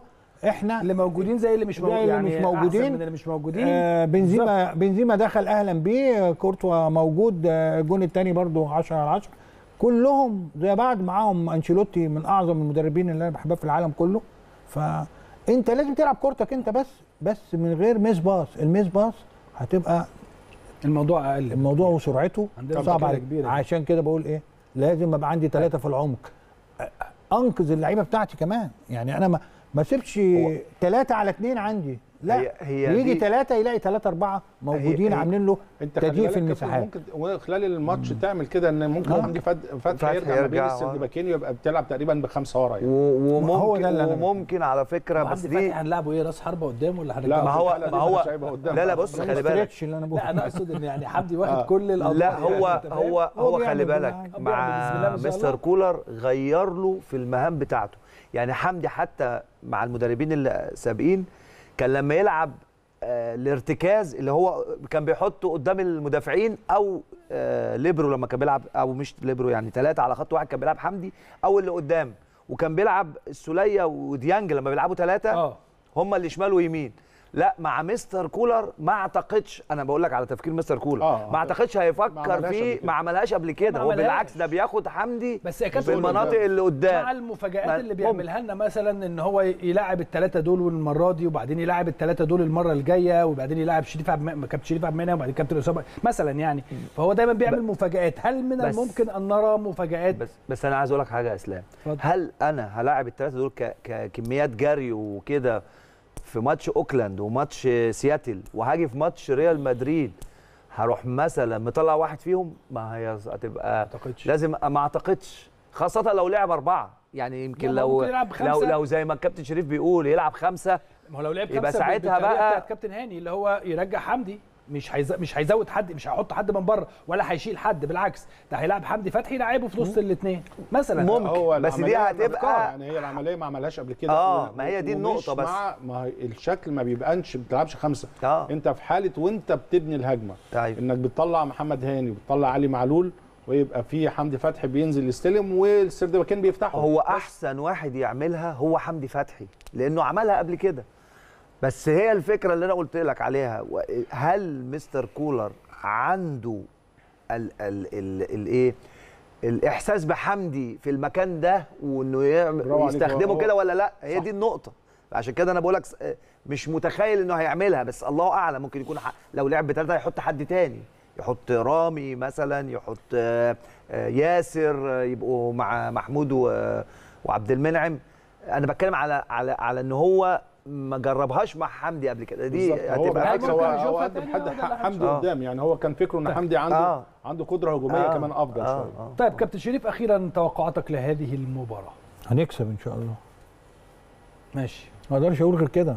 لا أنا أنا تمنياتك توقعاتك. وتوقعاتك. تمنياتك وتوقعاتك ولا تمنياتك فقط؟ لا لا لا إن شاء الله الاهلي أنا حاسس في البطولة دي هيكون ليه حظ إن اوفر شاء الله. وبإذن الله ممكن نكسب 2-1 أو 1-0 يعني يعني إن شاء الله. يا رب ما أقدرش. ما أقدرش أتخيل غير كده. لما أشوف الواقع بقى نبقى نتكلم بعدين. كابتن أسامة. إن شاء الله نعمل ماتش كبير قوي ودي رقم واحد عندي. يعني إن إحنا نعمل ماتش كبير قوي وشكلنا يبقى هيبقى. جميل وشكلنا بتاع بس يعني النتيجة مش هقدر أقول آه، الأهلي لا، لا، يكسب آه. ولكن أنا بقول ممكن ريال مدريد بنسبة 60% أو أو 70% والنادي الأهلي بنسبة 30% أو أو يا رب نشوف اللي هيحصل إحنا كلها حظ 48 أوفر إحنا ساعة إن شاء الله يعني. ونشوف آه. الله. المباراة ونشوف اللي هيحصل ومواجهة نادي القرن الإفريقي أمام نادي القرن في أوروبا. إن شاء الله الأهلي وريال مدريد يوم الأربعاء الساعة 9 مساء. شكرا جزيلا يا كابتن شريف على وجودك معانا. نشكرك ونشكر كابتن هاني. شكرا جزيلا يا كابتن أسامة على وجودك معانا. توفيق يا رب. طيب خلينا نطلع فاصل وبعد هذا الفاصل محمود شاكر وإسلام محمد في ضيافة الأهلي في المونديال في الجزء الأخير من هذه الحلقة.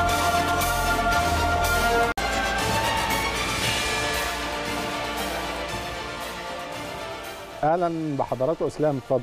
أنا. واحد. واحد. أهلا بحضراتكم مرة تانية. آخر فقراتنا النهارده في الأهلي في المونديال. اثنين من النقاد الرياضيين ومحللي الكرة العالمية. بنتشرف بوجودهم النهارده معانا. معانا طبعا محمود شاكر بنرحب بيك يا محمود أنا اللي برحب بيك يا كابتن هاني وسعيد إن أنا أكون متواجد معاك النهارده في. الاستوديو كنا على طول في المحترف ولكن. النهارده هو والله وأنت كمان يا كابتن. هاني إحنا في وسعيد أكيد المحترف برضه يعني إحنا مش في حاجة أه ما. إحنا بنتكلم عن نادي كله طبعا احتراف دلوقتي كله أكيد. احترام. سعيد إن أنا طبعا تاني مرة موجود مع كابتن إسلام أكيد طبعا. إسلام محمد طبعا بنرحب بيك في طبعا حلقة كمان للتاريخ. كل حلقاتنا للاهلي في المونديال حلقات للتاريخ. طبعا إحنا وجودنا هنا للتاريخ آه، وجودنا طبعا قدام قيمة كبيرة بحجم الكابتن هاني رمزي والكابتن إسلام الشاطر. مبسوط ان أنا موجود في قناه نادينا العظيم طبعا وبيتنا كلنا ال- البيت الكبير. يعني إحنا النهارده في الاهلي في المونديال ولكن هو بيتنا ال- الكبير. مبسوط ان أنا موجود معايا كمان آه، موجود مع شريف كمان. النهارده المحترف في البيت الكبير. بالظبط. هو حلو ال mix ده. في الاهلي في المونديال في صحيح. في, في ريال مدريد في كل حاجة يعني. فالعملية الحمد لله. يعني خليني أبدأ معاك يا شاكر. برضو كلام مهم جدا فيما يخص هذه المباراة. وتحديدا لما تيجي تتكلم دايما عن ريال مدريد بتتكلم عن واحد من أهم أو أهم فريق في العالم الحقيقة على مستوى البطولات وعلى مستوى الإنجازات. آه، في آخر بطولة دوري أبطال أوروبا لما ريال مدريد فاز الناس كلها قالت لك إيه؟ هو في وسط البطولة كده قال لك الأهلي ما فيش حد هيكسب. آه، ريال مدريد استحالة يكسب هذه البطولة. لكن في نهاية البطولة ريال مدريد استطاع أن يفوز. أكيد يا كابتن إسلام. يعني هقول لحضرتك على حاجة هي بطولة من أهم البطولات اللي في تاريخ النادي الأهلي واحدة من أهم المباريات في تاريخ النادي الأهلي. أنا هكلم حضرتك على الجانب المعنوي الأول مش بس للنادي الاهلي ولكن للعيبه النادي الاهلي اللي هتكون مشاركة مش عشان خاطر انت هتلعب قدام آه، بطل أوروبا انت لعبت قدام بطل أوروبا قدام بايرن ميونخ من سنتين ولكن انت بتلاعب النهارده ريال مدريد البطل الأعظم والأكبر والأقوى في تاريخ كرة القدم اللي هو ريال مدريد هو أكتر فريق محقق ألقاب قارية في العالم كله. ودي أول مباراة رسمية للنادي الأهلي معاه. شفنا طبعا مباراة وديه فدي أول مباراة رسمية للنادي الأهلي معاه. المباراة ليها أبعاد كتيرة جدا جدا. لو هنتكلم على الأبعاد المعنوية لازم اللعيبة تبقى عارفة كويس جدا إن أنت النادي الأهلي مطالب إن هو يكسب أي مباراة حتى لو هتلاعب ريال مدريد. ولكن خلينا نكون واقعيين. عشان في نغمة جامدة شوية كده يا كابتن إسلام من ساعة الإصابات بدأت تطلع إن آه، الم- الم- الماتش ممكن يكون في المتناول أو 50 50 يبقى ريال مدريد هو ريال مدريد وآخد من كلام الكابتن إسلام أنا وهو مش بيتكلم. مع هذا الموضوع تماما. أنا النادي الأهلي آه سيظل اسم النادي الأهلي آه، طبعاً كابتن حاجة. ولكن في النهاية ولكن يا كابتن إسلام مش عاوز ضغ- ضغوطات لما تزيد قوي قوي على اللعيبة. يعني كابتن إسلام إحنا لحد دلوقتي بنتغنى بمباراة مثلا النادي الأهلي وإنترناسيونال اللي كانت موجودة في كأس العالم من الانديه 2006 خسرنا 2-1 مباراة كانت رائعة. آه، بنتغنى مباراة الأهلي وبايرن ميونخ اللي كانت مقامة في قطر اللي خسرنا في آخر دقيقة. شريف إكرامي غلط في في الجون اللي جه في الآخر. فأهم حاجة لعيبة النادي الأهلي لازم تبقى عارفة إن إحنا كلنا في ظهرهم ايا كان أنت هتنزل تلعب. لعبك تلعب أسلوبك. ولكن على الجانب الفني مارسيل كولر قدام أزمة حقيقية في طريقة اللعب اللي هيلعب بيها قدام آه، ريال مدريد. كلنا عارفين إن النادي الأهلي بيلعب طريقة 4 3 3 المؤخرا بعد ما كان بيبتدي 4 2 3 1 ثبتها 4 3 3 النادي الأهلي بينزل يفرد أسلوبه والزياده العددية زيادة نص الملعب من حمدي فتحي ومن عمرو السولية والي ديانج هو اللي بينزل يعمل ال build up من تحت وبالتالي أحد ظهيرين الجنب. وواحد من نص الملعب بينزل يغطي مكانه ولكن ال rhythm ده عالي جدا جدا وأنت بتلعب بضغط عالي وكبير جدا. طبعا مع مع اختلاف المستويات ومع اختلاف الفرق انت هتلاعب ريال مدريد. هيبقى عندك risk كبير جدا لو انت هتلعب بنفس الطريقة. هل مارسيل كولر ممكن يلعب بالثلاثه ويغير طريقة اللعب ويبقى بخمسة ورا ولا ممكن مارسيل كولر يحط ثلاثة في نص الملعب دفاعيين؟ ومين ومين الثالث موضوع خمسة ورا. يعني أنا برضو أنا أنا أنا, أنا الحقيقة أنا هاخد من كلام كابتن هاني في من يومين أو يعني في بداية هذا ال- السبت السبت تقريبا. إيه إيه لما اتكلمت عن الاستمتاع في المباراة أنا وجهة نظري إن أي حد هيلعب هذه المباراة يجب أن يستمتع. صحيح. الأول يستمتع مش يستهتر. في فرق كبير جدا جدا ما بين طبعا. الاستمتاع والاستهتار. أستمتع يعني ما يبقاش عليا ضغط كبير. صحيح. لكن إن أنا بلاعب ريال مدريد آه ريال مدريد الأقرب للفوز واقعيا ومنطقيا طبعاً. وكل شيء ولكن أنا النادي الأهلي. ولكن أنا النادي الأهلي ويا كابتن النادي الأهلي طول ما جمهور النادي الأهلي عايش بيفضل طموحات أحلامه بتتجدد. أنا بعد ما كنت من حوالي 15 16 سنة أول ما رحنا كأس العالم للأندية كنا بنطمح نروح كأس العالم. دلوقتي الثالث semi final على التوالي. طب أنا ليه ما اخدش ما ألعبش على الذهبية الطموحات الطموحات مشروعة والأحلام مشروعة وقلنا الكلام ده أنت من حقك تحلم ومن حقك تقول ومحدش يحجر على حلمك طبعا. آه حلمنا إن إحنا ناخد. ال... ناخد الذهبية. ده حلم. أكيد يا كابتن. ولكن بنتكلم على ال... ال... ال... ال logic والطبيعي. الواقعية. الواقعية مهمة جدا. الخوف من المنافس غير مطلوب. احترام المنافس مطلوب. وخلي بالك دايما تفصيل ال details الصغيرة بتسبب مشاكل. أكيد. وبص يا كابتن هرجع على مباراة الرجاء وريال مدريد في كأس العالم 99 3 2 والرجاء كان كان عامل مباراة كان سجال كبير جدا بين ريال مدريد وبين الرجاء البيضاوي. النادي الأهلي ظروف المرة دي مختلفة. انت ما لعبت بايرن ميونخ كان full squad. انت النهارده هتلاعب ريال مدريد وهو بينتقص منه أهم عناصر موجودة عنه. وفي نفس الكلام برضو مع تقدم السن بتاع مودريتش وكروس ونص الملعب. وكنت بتكلم مع حضرتك كتير في المشاكل اللي كانت عند ريال. مدريد بسبب نص الملعب. لدرجة إن مفيش back left بتلاعب واحد زي كامافينجا واحد من الافضل destroyers موجودين في العالم بتلعبه back left عشان خاطر ما عندكش ولا back left فدي مشاكل عند ريال مدريد مخلية. طبعا طبعا إحنا الموضوع يقرب شوية. الفوارق بدل ما كانت هتبقى كبيرة لأ الفوارق أكيد بتقل بنسبة كبيرة جدا في غياب واحد زي بنزيما أفضل لاعب في العالم وغياب آه، ما فيش مندي back left وكورتوا. يعني كورتوا عقد ليفربول السنة اللي فاتت في ال final. وعاوز أتكلم على الكابتن إسلام بيتكلم عن نقطة ريال مدريد ما كانش حد متوقع له كده. ريال مدريد كل اللي كان بيقول مباراة مانشستر سيتي السنة اللي فاتت ريال مدريد بيرجع. باريس سان جيرمان أقوى squad في العالم. ريال مدريد بيرجع. كل المباريات ريال مدريد بيرجع لا تأمن له. جينات ريال مدريد شبيهة لجينات النادي الأهلي اللي هو فريق لا تأمن له لحد 90 دقيقة. فمباراة أكيد مش هتكون سهلة وهتكون صعبة جدا وهو اختبار صعب أكيد لمارسيل كولر في طريقة اللعب. ولكن أنا شايف يا كابتن الأفضل إن أول شوط النادي الأهلي يحاول يطلع على قد ما يقدر كلين شيت وبعد كده نشوف الكلام ده مختلف أكيد يعني. طيب طريقة اللعب يا إسلام فيما يخص النادي الأهلي وريال مدريد هي متشابهة. ولكن آم، يعني النادي الأهلي بيلعب 4 3 3 ريال ريال. مدريد أقرب برضو ل 4 3 3 ولكن قد تكون المهام آم، مختلفة مختلفة كارلو أنشيلوتي ومارسيل كولر. كولر بكرة شايف هذه المباراة التكتيكية إزاي؟ بص يا كابتن إسلام خلينا نقول حاجة مهمة جدا ونأكد على حاجة مهمة اللي وصل له الأهلي لغاية اللحظة اللي إحنا بنتكلم فيها دي هو مش هنقول إعجاز هو إنجاز آه لو سألتني أنا شخصيا يا كابتن هاني وكابتن إسلام آه وصول الأهلي للمرحلة دي هي أهم حتى من مباراة ريال مدريد. مباراة سياتل اللي فاتت بالنسبة لي أنا كانت أهم من مباراة ريال مدريد لأن هي اديتك فرصة إنك تلعب على فرصتين. إن إحنا إن شاء الله نكسب ريال آه، المدريد ونصل للنهائي أو لا قدر الله لو حصل أي إخفاق وده اللي إحنا أكيد ما نتمناهوش نلعب على أيضا على ميدالية ال- البرونزية. لو سألتني أنا شخصيا هقول لك إن أنا أتمنى إن إحنا نلعب 4 3 3 نلعب بثلاثه وسط الملعب اللي هم ال flat زي ما هم آه، سواء عمرو السولية أو حمدي أو ديانج لأن هو عمره ما لعب flat. يعني أنا ما بشوفش مثلا مارسيل كولر في مباراة من المباريات بيلعب flat ابدا. المباراة دي مباراة خاصة جدا. يعني خطورة ريال مدريد لو جينا اتكلمنا هنتكلم في الأطراف. هنتكلم في جونيور وهنتكلم في فينيسيوس. فينيسيوس جونيور وهنتكلم أسينسيو الناحية الثانية أعتقد إن الحتتين دول أو الجبهتين دول هما أخطر جبهات. فالفيردي آه. وفالفيردي طبعا. ما هو لو فالفيردي لعب صحيح. اسينسيو خلي يعني بالك. هيبقى- مش هيخش وسط الملعب أعتقد هتبقى فيها اختلاف شوية يلعب 4 4 2 مثلا. خلينا نتكلم في الواقع إنه ممكن يلعب عادي هيلعب بفينيسيوس وهيلعب الناحية وه- الثانية صحيح. اسينسيو صحيح يا كابتن هاني. هنلاقي الثلاثه في وسط الملعب إحنا عندنا لو لعب بالثلاثه آه، حمدي فتحي وديانج وعمرو السوليه هنلاقي إن في اثنين دايما بيميلوا ناحية اليمين وناحية الشمال يا كابتن إسلام. هنلاقي دايما دايما آه، عمرو السوليه أو ديانج بيميل ناحية علي معلول ودايما حمدي فتحي هتلاقيه مايل ناحية هاني.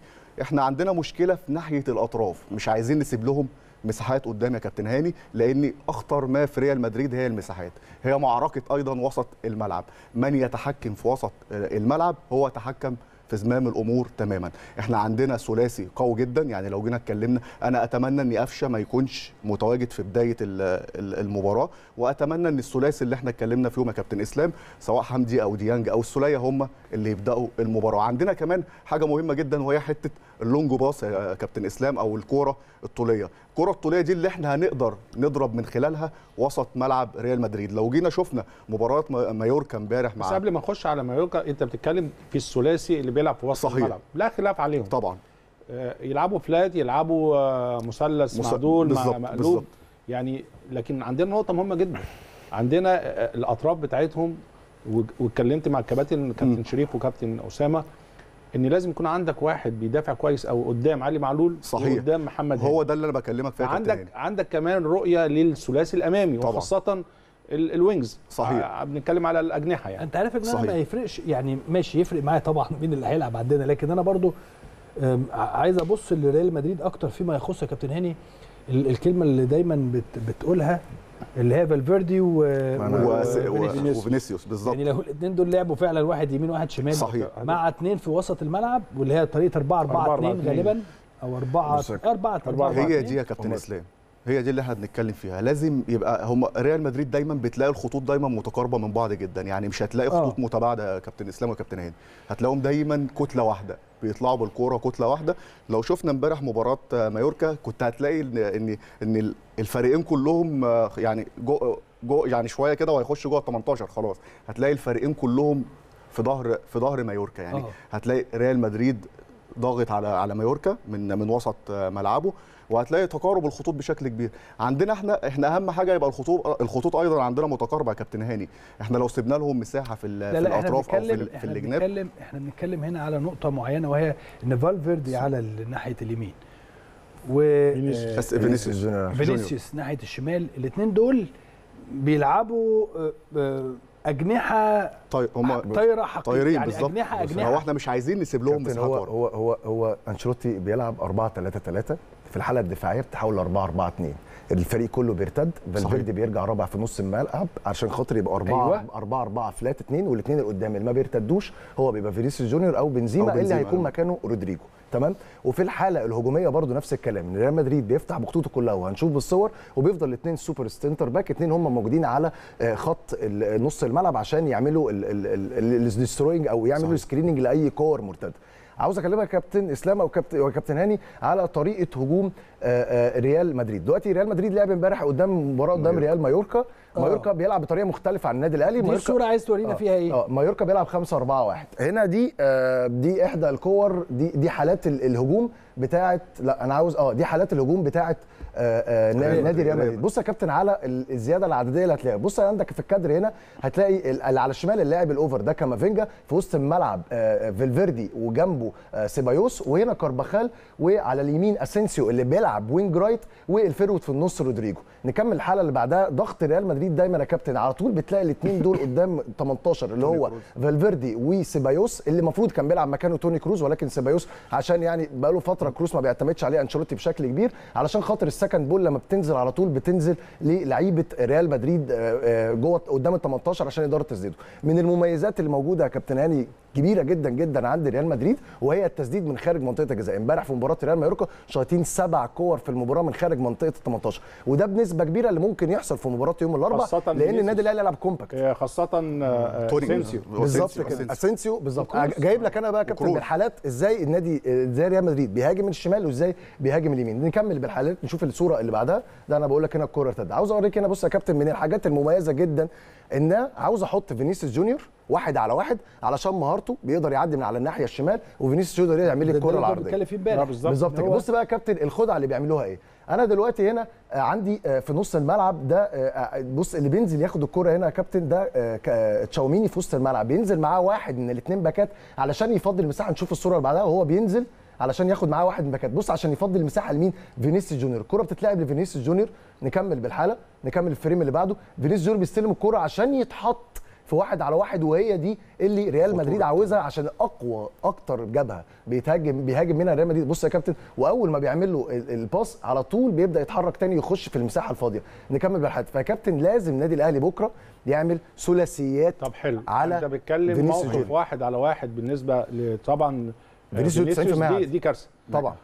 ما انت يعني خلي بالك انت ما تقدرش في جميع الأحوال توقف النقطة دي أكيد. هيجي لك هي- هيجي وقت من الأوقات ح- في فرصة هتتخلق واحد ضد. واحد. لكن عشان نقلل من ده عندك جزئين.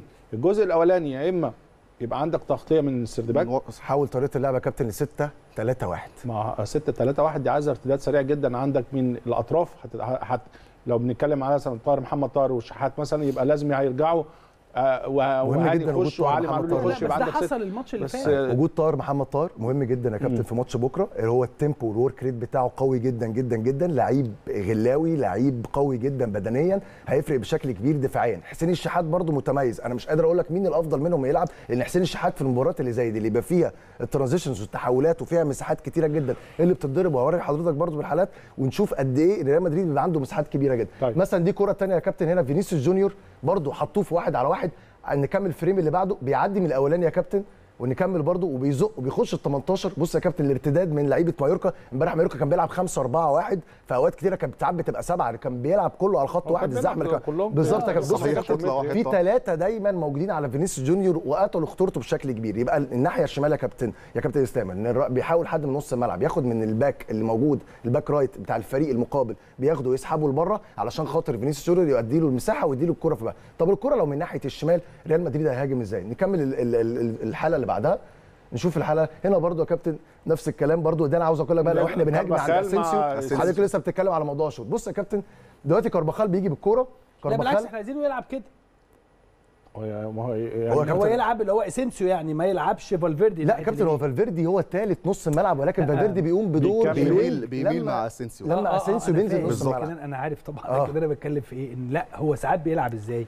بيلعب اتنين في وسط الملعب وبيلعب فالفيردي wing يمين زي واسينسيو wing وأسينسيو يمين. قدام آه لا طرف. مفيش أسينسيو أسينسيو بيخش مفيش. أسينسيو. بيبقى قاعد أسينسيو ساعتها احتياطي وبيبقى أو بيبقى ده لما بيلعب حربة 4 تاني. 4 2 صريح 4 4 2 صحيح. صريح ويلعب فينيسيوس wing left بس بيبقى حر بيتحرك تحت بنزيما وهما الاثنين بيتبادلوا ادوار المهاجم. لما بيلعب 4 4 2 ما وبيبقى ده, ما فالفيردي ده الخطر يعني ده الخطر إن طبعا. حتة إن أنت بتلعب باثنين مفتوح فاتحين قوي لو بتتكلم على مثلا فالفيردي وبتتكلم على فينيسيوس. هيبقى في مساحات وبقى آه، إسينسيو واخد دور ال shadow striker. صحيح.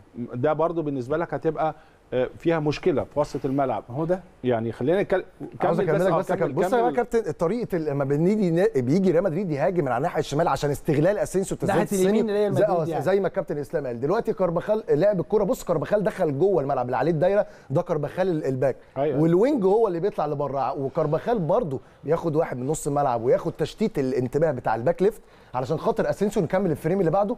أسينسيو يا كابتن بيقطم لجوه. علشان يسدد وهي دي دايما اللي بيلعب عليها ريال مدريد في لما بيكون بيهاجم من الناحية اليمنى. فاحنا دلوقتي عندنا مشكلتين. المشكلة الأولانية هي السرعات الكبيرة جدا عند فينيسيوس جونيور في الحتة الشمال وفي نفس الوقت برضو لما لما بيقطم لجوه أسينسيو عشان يلعب بشماله والتسديدات اللي بيميز. بيها جدا جدا. صحيح. ودي وحاجه ثالثه يا كابتن مهمة جدا وهي التسديد من خارج منطقة الجزاء زي ما اتكلمنا. دي نقطة مهمة جدا. الحاجة الرابعة والأخيرة ودي أكبر برضو من نقاط القوة عند ريال مدريد وهي الضربات الركنية.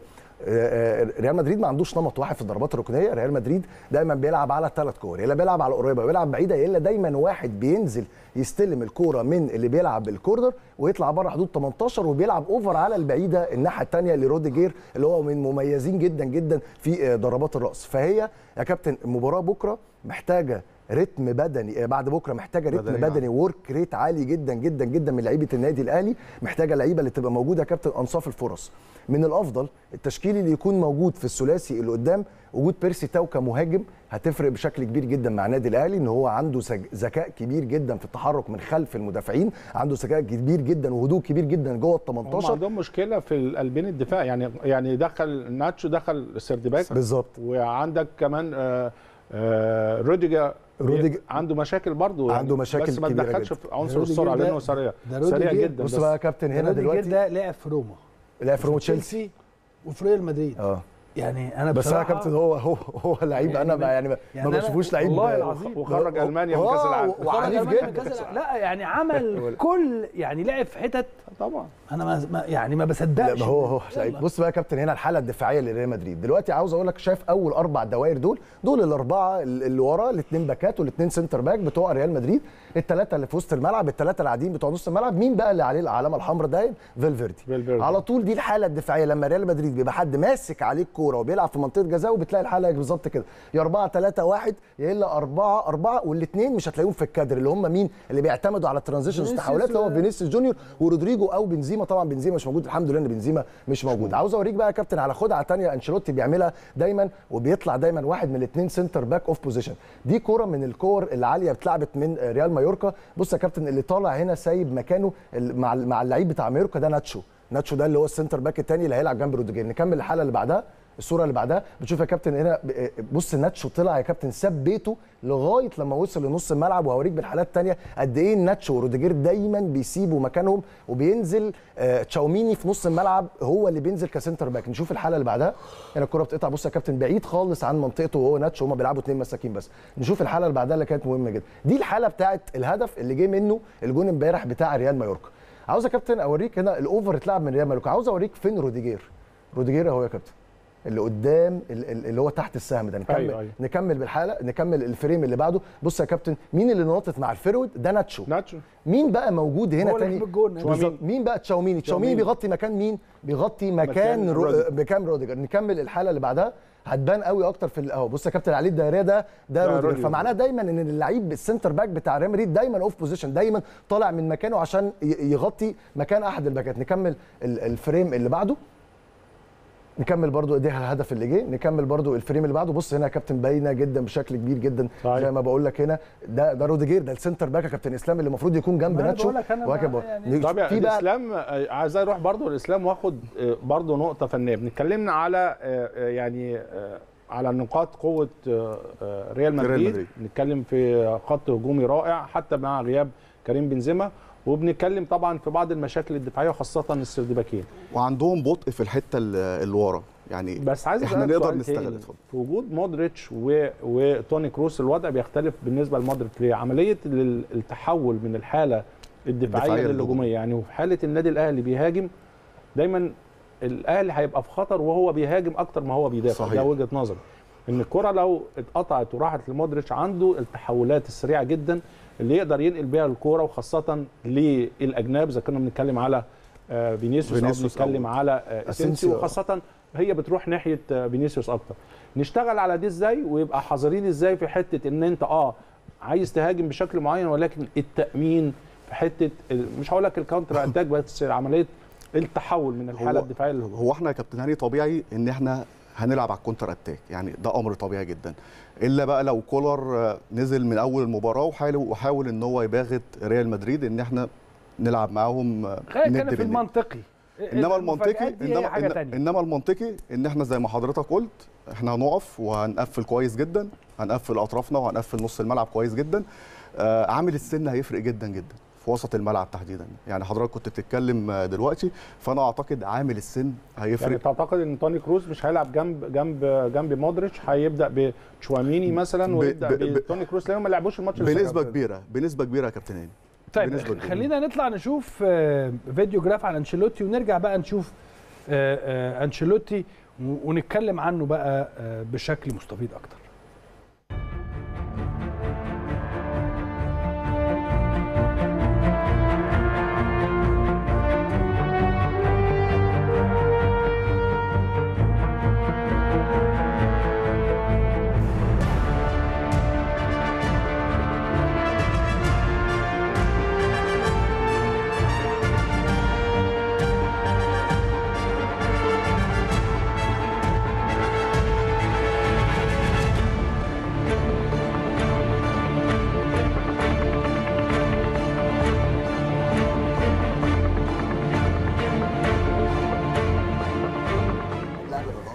أنشيلوتي طبعا من عظماء ومن أعظم المدربين على مستوى العالم لكن آه، بيمر مش هقول بأزمة ولكن بيمر في عدم تذبذب. آه في عدم استقرار بالنسبة للنتائج عايزين بالنسبة نعرف نوع للأداء. اللبان بتاعه إيه كمان؟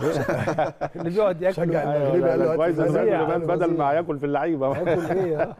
ف آه، آه، أنشيلوتي آه، شايفه إزاي خلال الموسم ده؟ يمكن آه، آه، في شوية مشاكل في النواحي الدفاعية في مشاكل آه، من الأداء بعد خاصة بعد الرجوع من كأس. العالم آه، شايف ده ممكن يكون حافز ويكون دافع أكبر لأنشيلوتي للحصول أو إصراره على الحصول على هذه البطولة وبالتالي في دوافع جديدة ليه وللاعبين إن يحصلوا على هذه البطولة وبيرجعوا أسبانيا أو للليجا بمعنويات أعلى. أكيد طبعا يا كابتن دلوقتي الفرق وصل فرق 8 نقاط ما بينه وما بين برشلونة. ريال مدريد المنحنى بتاعه نازل بشكل كبير جدا جدا جدا وده راجع لأسباب كتيرة. كنا. بنتكلم بنقول إن ريال مدريد مهم جدا في الميركاتو من الميركاتو الصيفي وميركاتو الشتوي إن أنت واحد زي كريم بنزيما لو أنت عندك اتصاب مين هيعوضه مفيش حد بيعوضه. حتى رودريجو رودريجو مش striker مش صريح. striker. رودريجو wing أكتر منه بيلعب striker. نفس الكلام لعيبة نص الملعب. قلنا إن مودريتش وكروز ال- ال- المردود البدني بتاعهم بسبب تقدم العمر قل بشكل كبير. آه جبت تشاوميني وكامافينجا ولكن تشاوميني وكامافينجا مش من اللعيبة الكويرة زي مودريتش وكروز اللي هو ياخد الكورة وعارف يطلع الكورة إزاي. كوير لعيب بيعرف يستلم ويستلم تحت الضغط كامافينجا ال work rate بتاعه عالي جدا. تشاوميني متميز شوية عن كامافينجا ولكن لسه خبراته مش بخبرات آه، توني كروس ومودريتش. دي مشكلة تانية فبقينا نشوف إن توني كروس ما بيلعبش كتير. نفس الكلام ال back left ما عندوش back left. بعد إصابة مندي ما فيش back left ليه ما بيلعبش قلبه back. left مثلا. نزله امبارح الشوط الثاني وقلب أنا عمل كنت له أعرف كذا. بيلعب back left في هو بايرن أصلا ميونخ. هو بيلعب هو هو أصلا بيلعب. أنا اللي. استغربته كمان هو ليه ما بيلعبوش على ناتشو ناتشو ثغرة كبيرة جدا في في ريال طبعاً. مدريد وناتشو من اللعيبة يعني عارف أنت كابتن اللعيبة اللي هي موجودة. وبيجددوا آه طبعا هو هيلعب يا كابتن أعتقد بنسبة كبيرة إن هو اللي ممكن يلعب وهو بطيء جدا وال take off بتاعه مش مش عالي ولعيب عارف أنت كابتن اللعيبة اللي تبقى موجودة في ال squad بتجدد كل 3 3 4 سنين مع إن هي ملهاش أي دور في الفرقة هو ناتشو ده بالظبط كده فريال مدريد راجع مشكلته ال- ال- ال squad بتاعه ما بقاش متكامل وبالقوة اللي كان عليها من فترات كبيرة. وريال مدريد السنة اللي فاتت قوة الكاريزما بتاعت ريال مدريد وشخصية البطل هي اللي خلت إن هو يقصي باريس سان جيرمان ويقصي آه، تشيلسي ويقصي آه، مانشستر سيتي ويقصي كل كل الفرقه دي كلها. قوة ريال مدريد وشخصية ريال مدريد. المباراة يا كابتن مهمة جدا بالنسبة له عشان عنده نقص وعنده نواقص كتيرة جدا. والمهم إن في الوقت اللي بيزيد الضغط على المدرب إن أنا آخد حاجة أهدي بيها الإعلام شوية. اهدي بيها الجماهير شوية ولكن الضغط عليه كبير بسبب المستوى السيء وبسبب إن هو مرشح رقم طب عايز آخد. رأيك كمان يا إسلام لأن أنشيلوتي كمان من أعظم المدربين عامل ويمكن آه، الإدارة عارفة قيمة هذا الرجل بشكل كبير وما بتتكلمش في عملية الإقالة أو الاستقالة أو أو لكن كابتن. لكن هو بيمر بأزمة خلينا نكون واقعيين يعني. هو ريال مدريد بقاله فترة بيمر بأزمة يعني تلاقي النتائج طالعة وفجأة تلاقي ال- الكيرف آه، واقع مرة واحدة وتلاقي النتائج متذبذبة ما بين تعادل أو أو هزايم. وتلاقي كمان خلي بالك هزايم من فرق مش مش الفرق الكبيرة في في أسبانيا. يعني تلاقي هزيمة مثلا من مايوركا تلاقي تعادل مع فرق أيضا في وسط ال- الجدول. ولكن أنا آخد من شريف زي ما قال هي شخصية شخصية البطل عنده كاريزما يعني يقدر إزاي في المباريات الكبيرة. يطلع. يطلع منها باللي هو عايزه يا كابتن هاني يعني شفنا ال... ال... ال- البطولات ال- اللي فاتت آه، باريس سان جيرمان آه، شفنا أيضا آه، بيلعب قدام ال- الفرق الكبيرة بشكل مميز جدا. ولكن أنشيلوتي يمكن الفترة دي ما بيمرش بأحسن حال. ألابا كمان يا كابتن إسلام مش هو ألابا اللي كان متواجد آه، في بايرن ميونخ مش هو نفس بس هو المستوى بدا بدأ بداية رائعة كان بادئ بشكل جيد جدا. ولكن الفترة اللي قعد فيها دي أثرت عليه ونزلت أكيد من من مستواه مع مع ريال مدريد.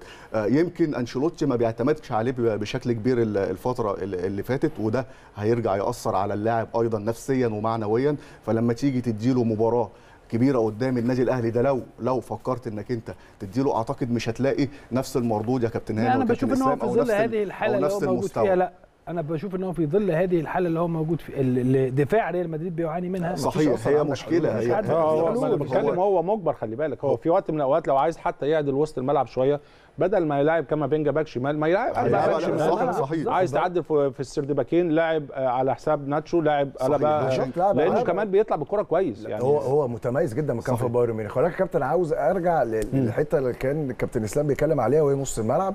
لا آه، أنا شايف. إن هو في المباراة دي هو عارف كويس جدا إن الماتش مش هيبقى فيه التحامات بدنية كتير من ناحية الماتش رايح سجال رايح جاي عارف إن النادي الأهلي هيلعب low block وهينزل تحت وهيلعب compact فأعتقد إن هو عارف إن المردود البدني بتاع لعيبة نص الملعب ممكن يبقى مش قوي جدا إن هو هيبقى على طول ماسك الكرة فأعتقد إن هو ممكن يلعب توني كروس ومودريتش مع بعض.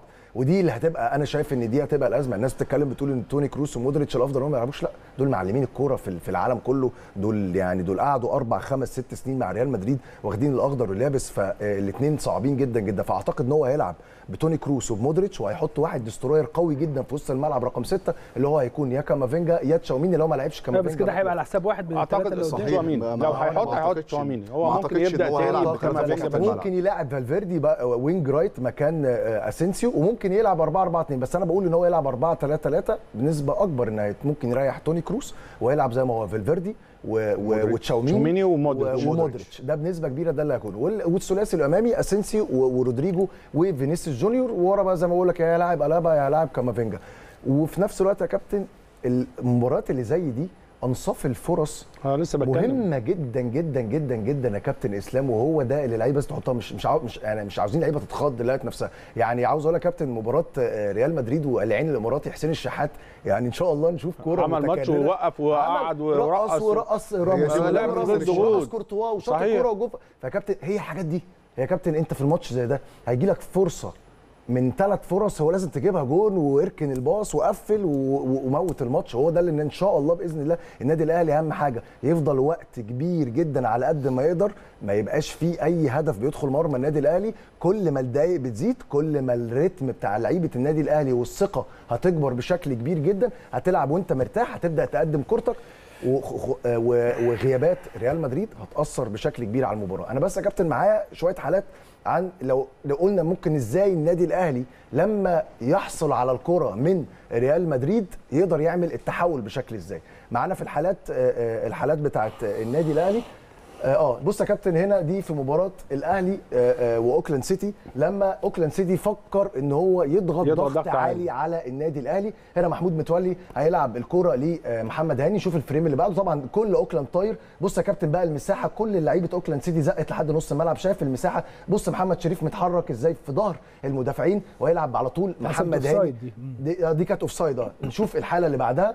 نفس الكلام برضو يا كابتن. دي هنا آه دي كانت offside هنا برضو دي من زاوية عكسية ثانية يا كابتن. شايف هنا برضو التحرك بيبقى موجود عشان خاطر أوكلاند سيتي إزاي فهو ده بنسبة كبيرة أكيد ريال مدريد هيبقى زي نص الملعب. الكره الثانية برضو من الناحيه الشمال نفس الكلام علي معلول لكن دي في مباراة سياتل. الكرة برضو بتتلعب يا كابتن. دي أوكلاند. دي أوكلاند برضو آه، بتتلعب هنا من علي معلول. دي أول كرة لشريف. بالظبط كده يا كابتن. هنا وشريف بيضيع الانفراد. نشوف كورة ثالثه برضو نفس الكلام. هنا برضو آه، محمد شريف بيحاول يقطع وحسين الشحات هيلعبها له في ظهر الدفاع. هي دي الكورة اللي بنسبة كبيرة جدا النادي الأهلي هيحاول يلعب عليها يوم الأربعاء. إن أنا هيبقى عندي الفرود مش هيبات في حضن المدافعين أول ما النادي الأهلي هيقطع الكوره على طول هتلاقي يا كابتن محمد شريف وفي ظهره أحمد عبد القادر واحد بيتحرك كده واحد في ظهره عشان الكورة تتلعب في ظهر المدافعين. نقطة ثانية مهمه أحمد عبد القادر ولا أحمد طاهر؟ عبد القادر. أحمد عبد القادر لعيب ما, ما, تعرفش هو قد إيه رائع وساعات قراراته بتبقى للأسف سيئة جدا. هو لعيب يا كابتن ممكن يطلع لك لحظات إبداع يوديك في حتة تانية أيوة، خالص من وتقعد تتفرج من عليه. البداية ولا آه، ولا من جزء من المباراة؟ من البداية يا كابتن لأن هيبقى في مساحات كتيرة جدا جدا جدا عند آه، ريال مدريد. أنا متأكد في أول مباراة هيبقوا نازلين كابسين بنزين دايسين على الآخر. هيبقى عاوز يخلص الماتش بدري بدري عشان ما يخشش في مناوشات. فوجود أحمد عبد القادر مهم جدا جدا ليه؟ كارباخال على المستوى الحالي مش افضل حالاته مش بقول ان احمد عبد القادر يتفوق على كارباخال ولكن احمد عبد القادر واحد على واحد قدام اي حد أنا عارف انه إنه ممكن يعدي ويعمل لك الفرق ولكن احمد عبد القادر بيبقى عنده مشكلة في آخر قرار. يعني يا كابتن هو بيرقص الأول ويرقص الثاني ويجي في القرار الثالث ارقص ولا شوط ولا باصي فبيقف. تتخطف منه. آه هي دي عملية التأخير في اتخاذ هو القرار يا كابتن على فكرة دي ليها علاقة باللياقة الذهنية. هو طبعاً. يعني طبعا يعني بس هو لعيب وده تدريب خلي بالك كمان تدريب. ومدرب. هو وطلع كولر اتكلم على الموضوع ده قبل كده. هو نفسه كمان أثناء التدريب لازم يعني في أوقات بيبقى لما ال- المدير الفني يشوف إن إحنا بنمسك كرة كتير في كذا تدريبة معينة يقول لك two touch لمستين أيوة، بس. لمسة أو؟ في كمان تبقى. لمسة واحدة. لمسة واحدة غصب عنك لازم تلعب لمسة واحدة. ده بيعلمك إنك قرارك يكون سريع وخاصة القرار الأخير. عبد القادر عنده مهارات عنده عالية جدا ولكن بيفكر. جزء جزء صغير عنده delay شوية عنده يعني ال delay دوت لازم يحسنه شوية. كابتن هاني هو بيرقص واحد واثنين والثالث لو حط بطن رجله يجيب جون. لو باص لبره يجيب جون. بس هو بيجي دايما عند القرار ده بيقف. فخلاص في جزء من الثانية بتتخطف منه. ولكن هو أنا بقول لك يا كابتن في المساحات في واحد على واحد هيفرق بشكل كبير. الناحية الثانية حسين الشحات يعني تيمنا بان إن هو اللي عمله في مباراة ريال مدريد وحسين الشحات بيتألق في كأس العالم للأندية. حسين الشحات أو طاهر أنا شايف الاثنين هيبقوا واحد لأن طاهر ال work rate بتاعه عالي جدا دفاعيا وبعدين طاهر من الناس طيب. المميزة جدا في سرعة العدو ودي اللي هيبقى مهمة جدا. إسلام معترض عليك. أنا أنا ما أعتقدش ما أعتقدش ابدا إن هو ممكن يبدأ بحسين بحسين وأحمد عبد القادر. مع بعض. آه لو سألتني يا كابتن هاني هقول لك إن بنسبة كبيرة من خلال متابعتي الكولر تحديدا الفترة اللي فاتت آه أو حتى في المباريات المحلية هنا قبل ما يروح كأس العالم للأندية بالنسبة له بيرسي تاو ورقة مهمة جدا. آه أعتقد إن هو ممكن يبدأ ببيرسي تاو والناحية الثانية يبدأ بحسين الشحات وقدام بنسبة كبيرة ممكن يكون كهرباء أو محمد شريف. ولكن حتة إن أنا أبدأ بحسين الشحات وأحمد عبد القادر أعتقد دي هتكون لود كمان على ال على ال على الأطراف عندنا سواء هنا أو الناحية الثانية ناحية حسين الشحات أنا مش قلقان منها خالص. عندك علي معلول هيقدر يقف. عندنا أيضا الثلاثه بس مش عدله حسين. بحس حسين ناحية الشمال ما بيبقاش الجزء لا هو ناحية اليمين بيبقى أفضل شوية لأن هو بيبقى عنده حتة إن هو مميز جدا في حتة جوه ال 18 مش عارف هو عامل إيه. هو جسمه خفيف مم. عنده موبيليتي عنده مرونة عالية جدا بيقدر يعدي في المواقف اللي زي دي وفي المساحات. وهي دي مباراة حسين الشحات. الناحية الثانية بيرسي تاو أعتقد إن هو الناحية ناحية اليمين بتاعه النادي الأهلي الناحية الشمال لريال مدريد هتبقى بالنسبة له حاجة مميزة جدا. اللاعب بيقطم على جوه ويقدر إن هو يعمل يعمل تسديدات برضه كابتن هاني وكابتن إسلام. حسين الشحات ناحية ناحية الشمال ناحية اليمين لريال مدريد هيقدر أيضا يعمل يقطم على جوه سواء يعمل باص أو يعمل حتى عرضية أو أو بينية للي جاي من من الخلف. ما أعتقدش ابدا إن هو ممكن يبدأ بالشحات وأحمد عبد القادر لأن المباراة طويلة جدا. ممكن ممكن إن إحنا نستفيد منه الشوط الثاني سواء أحمد عبد القادر هيبقى عندك ورقتين كمان ربحتين كهربا أو محمد شريف الحتة اللي قدام دي برضو. هيبقى فيها بالنسبة للنادي الأهلي فيها كلام. آه كولر كولر عنده المباراة هتبقى 90 دقيقة وليس 45 دقيقة فقط. آه هيقسم المباراة 45 و45 يا كابتن إسلام. هيقدر يطلع بالمباراة لبر الأمان أول 45 أو أول 45 دقيقة دي آه هتكون مهمة جدا إن هو ما يتمش تسجيل هدف في, في النادي الأهلي. المباراة طول ما هي طويلة الصفر صفر أعتقد إن هيكون النادي الأهلي فرصته كبيرة في المباراة. طيب عموما أخيرا توقعاتك لهذه المباراة.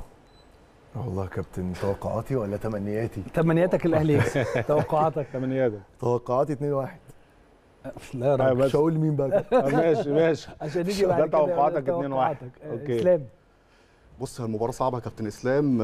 أمنياتنا طبعا إن النادي الأهلي طبعا. يفوز ده, ده بكل تأكيد يعني. ولكن أعتقد لو إحنا طلعنا بال 90 دقيقة لبر الأمان يعني المباراة ممكن تروح للنادي الأهلي حتى لو لو بركلات الترجيح وده اللي إحنا نتمناه لأن زي ما قلت لك يعني تعتبر ده السيناريو من السيناريوهات إن إحنا ناخد المباراة لضربات الجزاء. إن المباراة تطول على قد ما, ما تقدر. لو إحنا ما قدرناش نخطف هدف يا كابتن هاني نروح بالمباراة لركلات الترجيح. وفي ركلات الترجيح بقى طبعا بتبقى 50 50 أرزاق بتبقى أرزاق. وعندنا ثقة في في محمد الشناوي طبعا ولاعيبة النادي بس يا كابتن عاوزين نتكلم فيهم برضو قبل ما نختم. النقطة الأولانية وهي غياب كورتوا. لونين هو الحارس الثاني بتاع ريال مدريد. أه ما بقولش إن هو حارس سيء ولكن هو ليس مش بجودة طبيعي. مش بجودة كورتوا ودي نقطة مهمة جدا. لو شفنا الجون بتاع ريال مايوركا لا الجورة الكرة ممكن تتجاب ولكن هو بعيد بقاله فترة. دي نقطة ممكن تكون مهمة. نقطة ثانية الارتداد الدفاعي بتاع فينيسيوس جونيور الناحية بتاعته. مفيش خالص. مفيش خالص.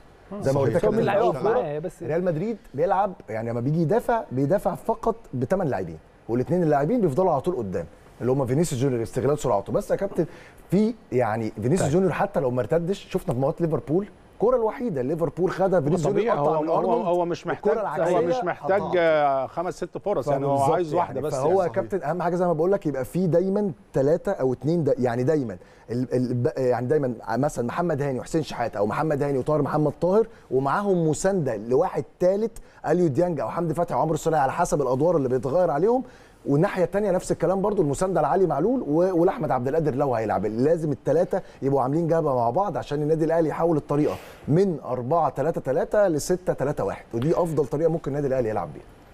اتفضل. أخيرا يا كابتن إسلام طبعا إحنا الأهلي آه نقدر ليه لأ؟ نصدق نفسنا إن إحنا هنلاعب ريال مدريد. إحنا بنلعب 11 قدام 11 مفيش أي مشكلة خالص. نصدق نفسنا آه سقف طموح جمهور النادي الأهلي عالي جدا. إحنا بادئين البطولة من اول من أول مباراة في البطولة إحنا اللي مفتتحين البطولة. ريال مدريد لسه جاي عنده مشاكل. نقدر نستغل ده. لو سجلنا هدف مبكر هنربك حسابات تماما ريال مدريد هنربك حسابات أنشيلوتي. جمهور الأهلي خلاص بقى عنده سقف عالي جدا. آه الفريق ده والجيل ده يستحق إن هو يكسر الميدالية البرونزية وليه لأ ما نجيبش الفضية أو الذهبية. إن شاء الله ربنا يكرمنا. هنلعب رجالة هنلعب بروح تيشيرت النادي الأهلي وبروح فانيله النادي الأهلي وإن شاء الله بإذن الله الحظ يعني إن شاء الله. يكون معانا ويحالفنا وإن شاء الله نكسب بإذن الله. خير إن شاء الله. يا رب إن شاء الله. عموما أنا بشكرك جدا يا محمود. محمود شاكر شكرا. جزيلا على وجودك معانا النهارده. شكرا جزيلا يا إسلام شكرا على وجودك معانا النهارده. طبعا هتظل هذه المباراة واحدة من المباريات التاريخية ومباراة صعبة جدا جدا جدا من النسب الأعلى منطقيا وفنيا وكل شيء. هي لريال مدريد ولكن في النهاية يبقى النادي الأهلي لا يعرف. وليه لا تبقى وليه لا إن شاء الله. مظبوط. اذا أنا بشكر حضراتكم. شكرا جزيلا. غدا حلقة جديدة. حلقة بكرة إن شاء الله تبقى حلقة آآ آآ ليلة, ليلة المباراة, المباراة إن شاء الله, الله. ونكون مع حضراتكم على الهواء مباشرة. هنشوف طبعا تدريبات ريال مدريد وهنشوف لحظات وصول ريال مدريد وكل ما يخص نادي ريال مدريد هيكون على شاشة قناة النادي الأهلي بكرة إن شاء الله. طوال النهار هيكون مع حضراتكم. أنا بشكر حضراتكم شكرا جزيلا وغدا حلقة جديدة من الأهلي في المونديال.